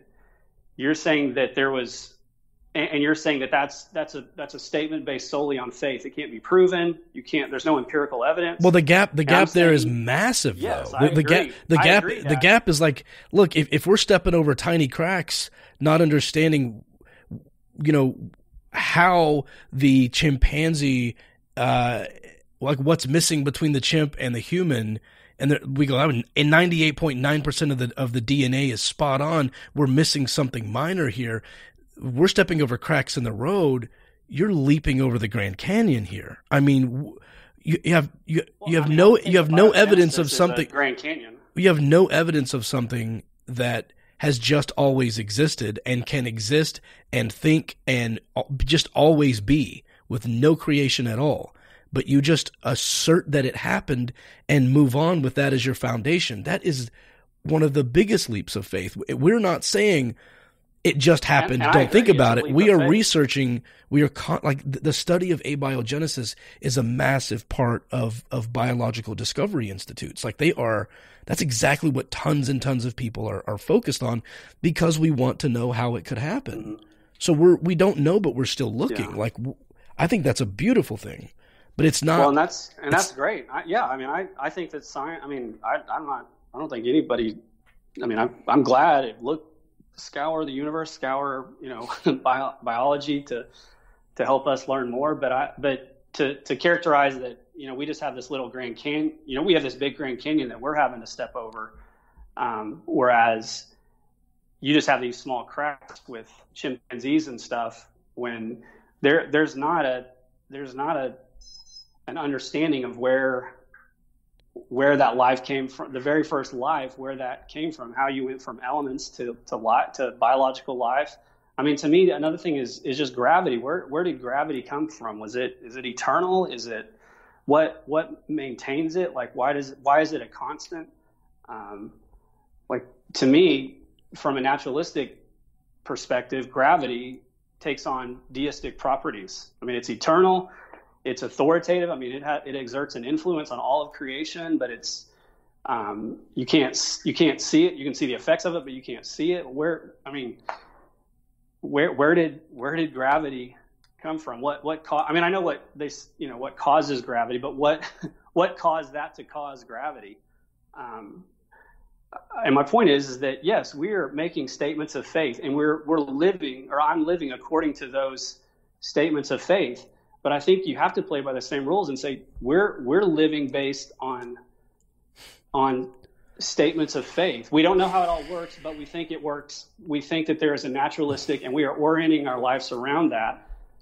To me, that's just as much a faith proposition, and to to to not say it is, to say that it's well, but we have science on our side, so therefore it's not technically faith.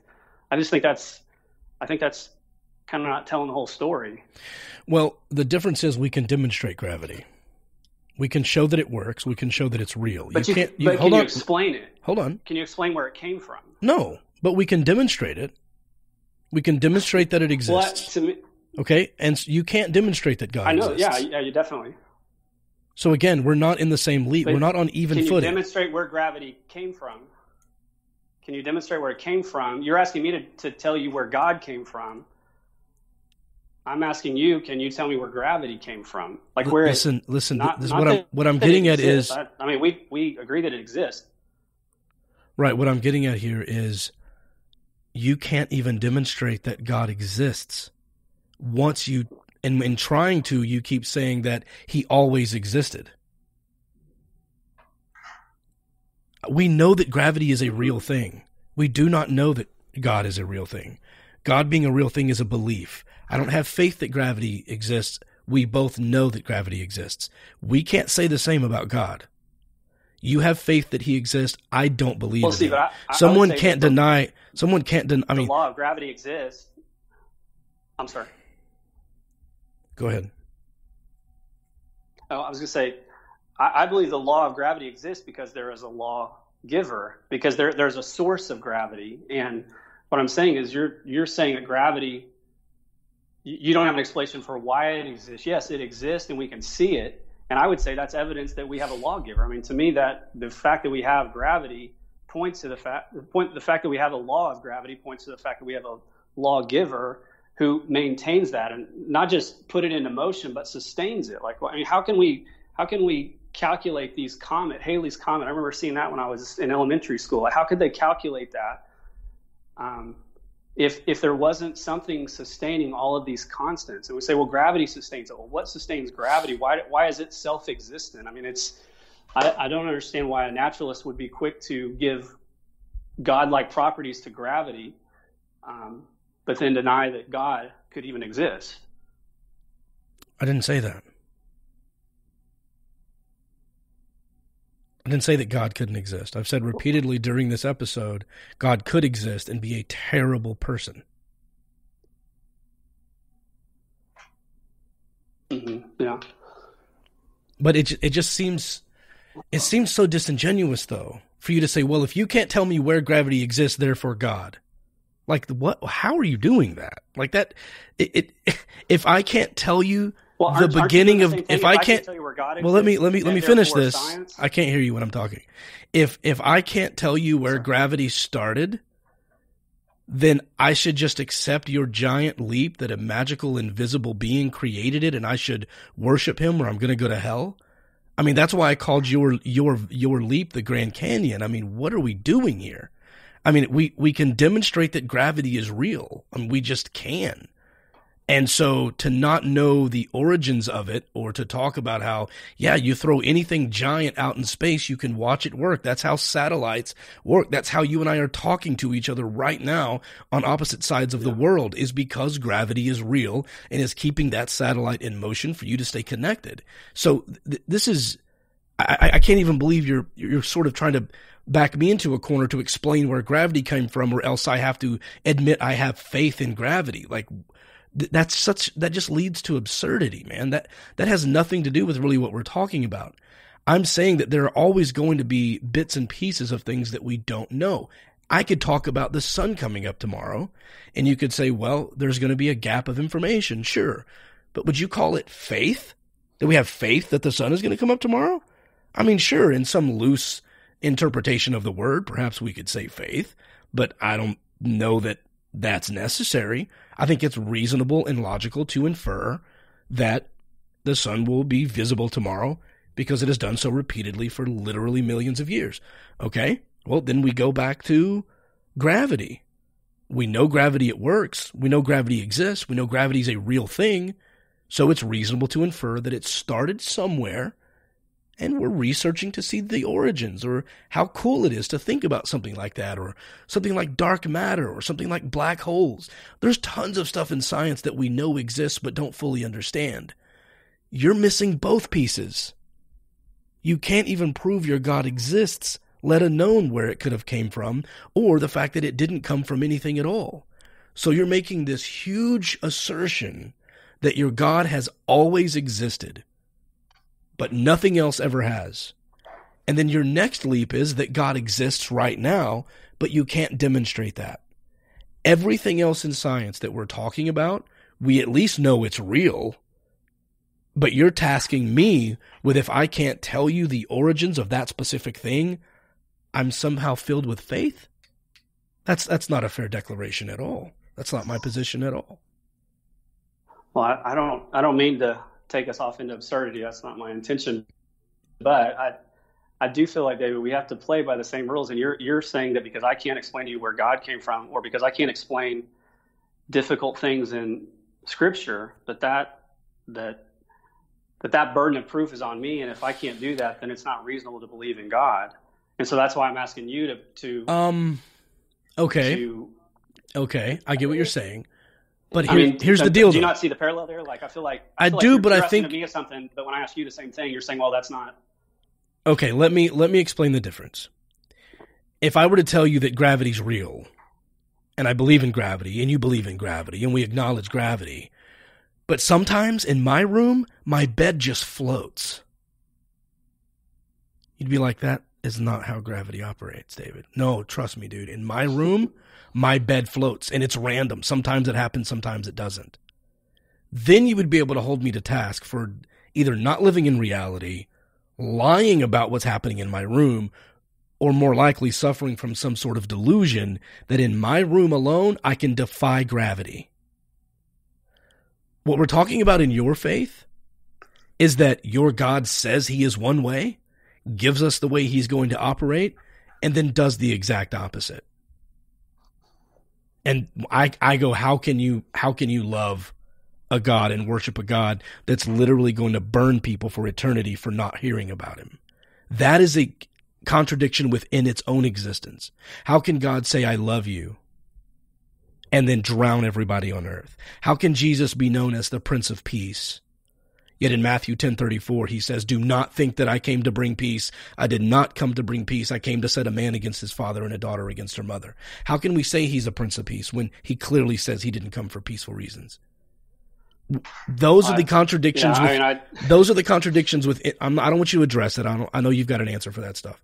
My point is that my issues with your faith is that your own believing principles within your own bubble are contradictory within themselves. There is nothing innately contradictory about gravity. There is nothing innately contradictory about abiogenesis. We are researching to see where it started, but we know that we exist. We know that we are related. You know that you are related to your cousins. Your cousins are related to cousins. You're related to people back to the 1800s, 1600s, and we can trace lineage and DNA back at least 50 to 80,000 years, maybe 250,000 years. We, we can trace DNA back to locations. Okay, so we know that we exist. Where did it start? We don't know. My, so my gaps in not knowing the origin of gravity is not equal to your gap in not knowing how God would create a literal torture chamber in another dimension for people who have never heard of him do you see the difference? Like one is one is a super far-fetched extraordinary claim and the other one is a basis in science and reality saying we don't know the end of this but we're looking for it. So it's not fair to call us both faithful. That's what I'm getting at. No, I, I would again, David, where where you say that you know we don't know how biogenesis works, we don't we don't know you know if we're the we're the child of another galaxy or another universe. Um, like, I mean, I just don't, I don't understand you saying that I have these Grand Canyon leaps where, I mean, nothing exists if those, if there isn't, if those, if those things don't happen, then there is nothing. And so evolution is irrelevant if okay. there's no possible way that, that we that life came from non-life or that something came from nothing. Um, and so I, I, feel like they're, I mean, I get it. Your, your scientists are studying that and science, and, but that doesn't mean that it's, that it's more scientific.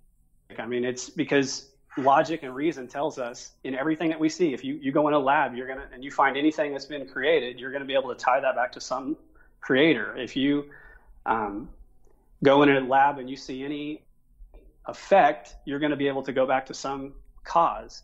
Um, if you go anywhere where you find um, order, you're going to be able to point back to some sort of intelligence, some sort of information, organizing information. Like those are things we, those are scientific principles that are found, form the foundation of science. And what what evolution teaches us, what what naturalism teaches us, that all of those things didn't exist in order for us to get here. Like that the, the, the there were our creation came into existence because they were the single events in all of creation and all of time and all of eternity where those rules of logic, those rules of science didn't have to take place. And so I would say that you know, we're not you can't study God in a lab, but that doesn't mm. mean that there are not scientific means by which you can come to say that God is reasonable, that he that his existence is reasonable. Okay. Um, I think part of the problem here is the usage of the word nothing in something. Uh, like th- this could get this could go down a rabbit hole that I really I would rather get back on our conversation about morality and and answer your question that you originally wrote in of of, of what would it take uh, for me to, to believe yeah, that'd be great. and and I want I want to get into all that but I, I'm telling you that yeah if you were to look out into space far enough and see just just dark matter you would just look at that and you would call that nothing. We all would. We'd go, what's out there? Nothing. You could open a box and look inside it and go, there's nothing in the box because it's an empty box. But there are things in that box. There are, there could be viruses in that box. There could be particles in that box. There, there is oxygen in that box. There are tiny microscopic particles shaved off from the corrugated paper that is used to make the cardboard that we would look at and go, that we can't see that. But if you were to analyze the inside of that box with a microscope, there's a lot of stuff going on inside that box that we mm-hmm. would say nothing is in there. And if you were to look out into space at dark matter, you would say there's nothing there's nothing there.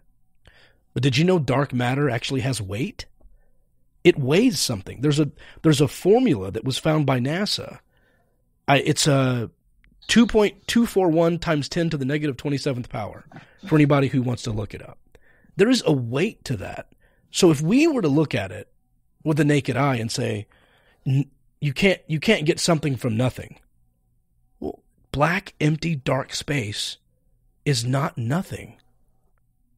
So it's a fundamental understanding of different principles and particles and, and quantum mechanics and things that are way above both of our pay grade. So, well, I, I get that. Let me try. I, mean, a, I, I know Lawrence Krauss talks about about that. And, yeah, I watched him talk. I, I, think you're using. I'm, I was just going to say I watched him talk for two hours about nothing, and I still don't understand it. well, I, I, wouldn't have much hope then. but I, I mean, I think when we say we look in a box and we say there's nothing, I mean, we're using that kind of colloquially. Like, I mean, if you if you will say, well, like if you if you came to me and said, "Is there anything in this box?" I said nothing. Well, and you'd say, "Well, is there air in there? Are there other molecules?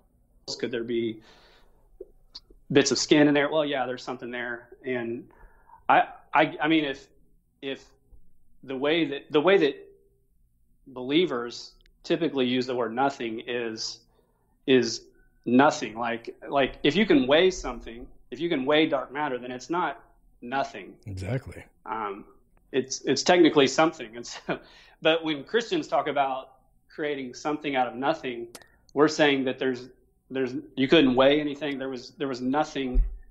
God didn't need anything. I mean, oh. ex, ex nihilo, like right. nothing. Like okay, that's, so that's, so that's so what, what would talking about. so what would you say if I were to tell you dark matter has always existed and had no creation? I would say I would say that's a faith statement because there's no. I mean, how how can you how can you make that anytime you talk about infinity is a faith statement.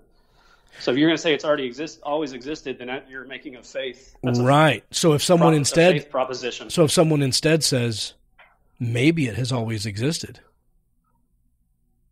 let's look into it. That's the position of scientists. We don't know. Yeah.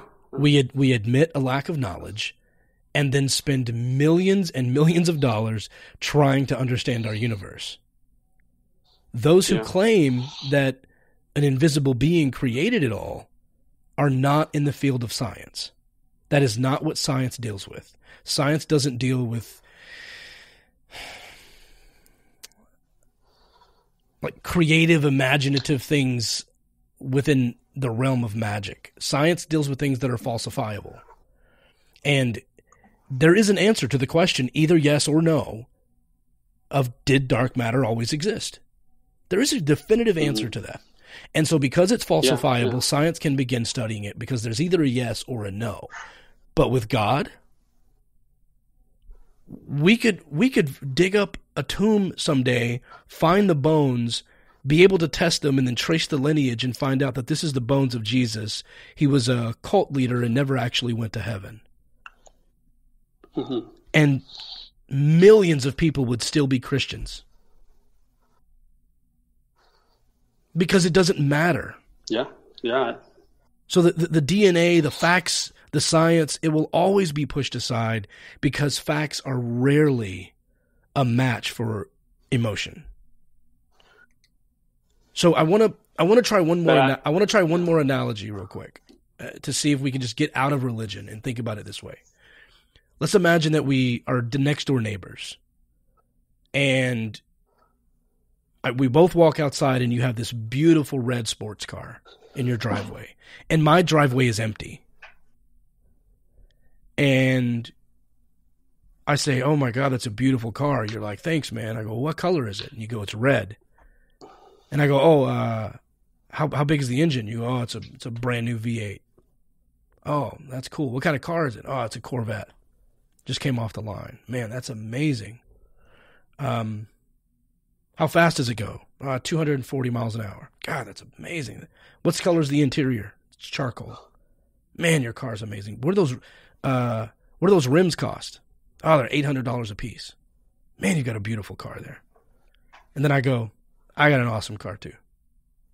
Oh, you do? Where is it? Uh, I haven't seen it, but it's amazing. And you're like, how do you how do you have a car that you don't know where it came from? You don't know where it is. You can't point. What color is your car? I don't know. What color is the interior? No clue. How much do the wheels cost? I don't know. But trust me, I've got an amazing sports car that's exactly like yours.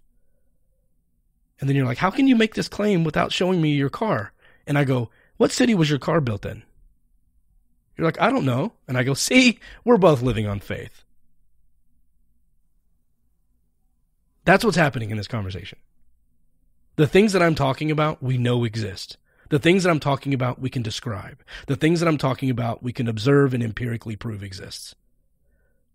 Me not knowing where, you not knowing where the car was built or what date it was created does not mean we both have equal amounts of faith. I hope that clarifies my position on that whole discussion. Well, I mean, yeah, I, I, get the I get the analogy. I, I, would just say that the the beginning of it all. The, I mean, you can't get to. I mean, it's like I was saying with algebra. Like, you, unless you can figure out one plus one, you can't you can't get to algebra or evolution without understanding all of it. And and at least right now, it's it's a huge leap of faith for the naturalist to think of where were the the things where did the things come from that led to the big bang that where where were the things that from the big bang that led to um, biological life um, th- those are I mean, those are huge. How are you calling it a How are you calling it a leap of faith if we're saying we don't know, but we're looking into it? How is that faith? You're not saying but, that about God. You're not say. You're not saying I don't know if God exists. I, am looking into it. You're no, you're making a, a a a very positive truth claim that it does exist. How are you saying that science is saying we're not I, sure how it started? That, yeah, I, I, would say that you're making a positive claim too by the way that you live. You're either living as though God exists or you're living as though He doesn't exist. Because I think and it's so the best may, possible. say, I don't, I don't know. You may say, I don't know whether or not we were, you know, that we came from these, you know, multiple iterations of universes, or I don't even know if God exists. I'm agnostic about that. But I would say you're orienting your life around either the fact that He does or the assumption that he doesn't. And so I don't think you can separate. Well, I, in theory, I'm I'm agnostic, but I would say in practice, you are you are making claims about what you believe to be true. Yeah, because I do think that that's the most reasonable explanation as of right now. That's the best we have going right now. Like right now, if I if I go yeah. for if I go for a run and I pull my hamstring, I'm going to come sit on a pack of ice when I get home. Does that not mean in 40 years someone's yeah. going to say, "Hey, we've actually done a discovery that if you rub mayo on it, it works better than ice." All right, cool. I'm going to try that, and if it works for me, I'm down. Yeah. but right now, I'm still going to keep putting ice on it until I have more evidence to the contrary. Um, yeah. Let's do this. I wanna, I wanna get, I wanna answer your question about morality. I don't want you to think I'm sidestepping it. I want to get into that because I do judge God's morality. I do. And I judge it mm-hmm. based off of a very specific set of standards that I'm going to get into. And I also want to answer your question that you okay. wrote in about, which is what would it take for me to become a Christian? Because I think that is yeah. Okay. extremely important. And before the show, you and I talked, and you said you were going to actually join us on the Patreon forum, which I very much appreciate. So under this episode, you're going to be able to to message with people and respond to them and some of their concerns. Um, and I mean, look, you're a, you're a missionary. This is what you do. You know, you're on a mission to um, to to change change lives and to change you know people's faith. Uh, so you're going to have a solid you know group of 800 people. I would say 65 to 70 percent of which are atheists. Um, to sort of hash out some of these some of these things. And so I certainly appreciate you talking to me about these. So let's do that. Um, well, we're we're several hours ahead, so there there might be a delay in responses to.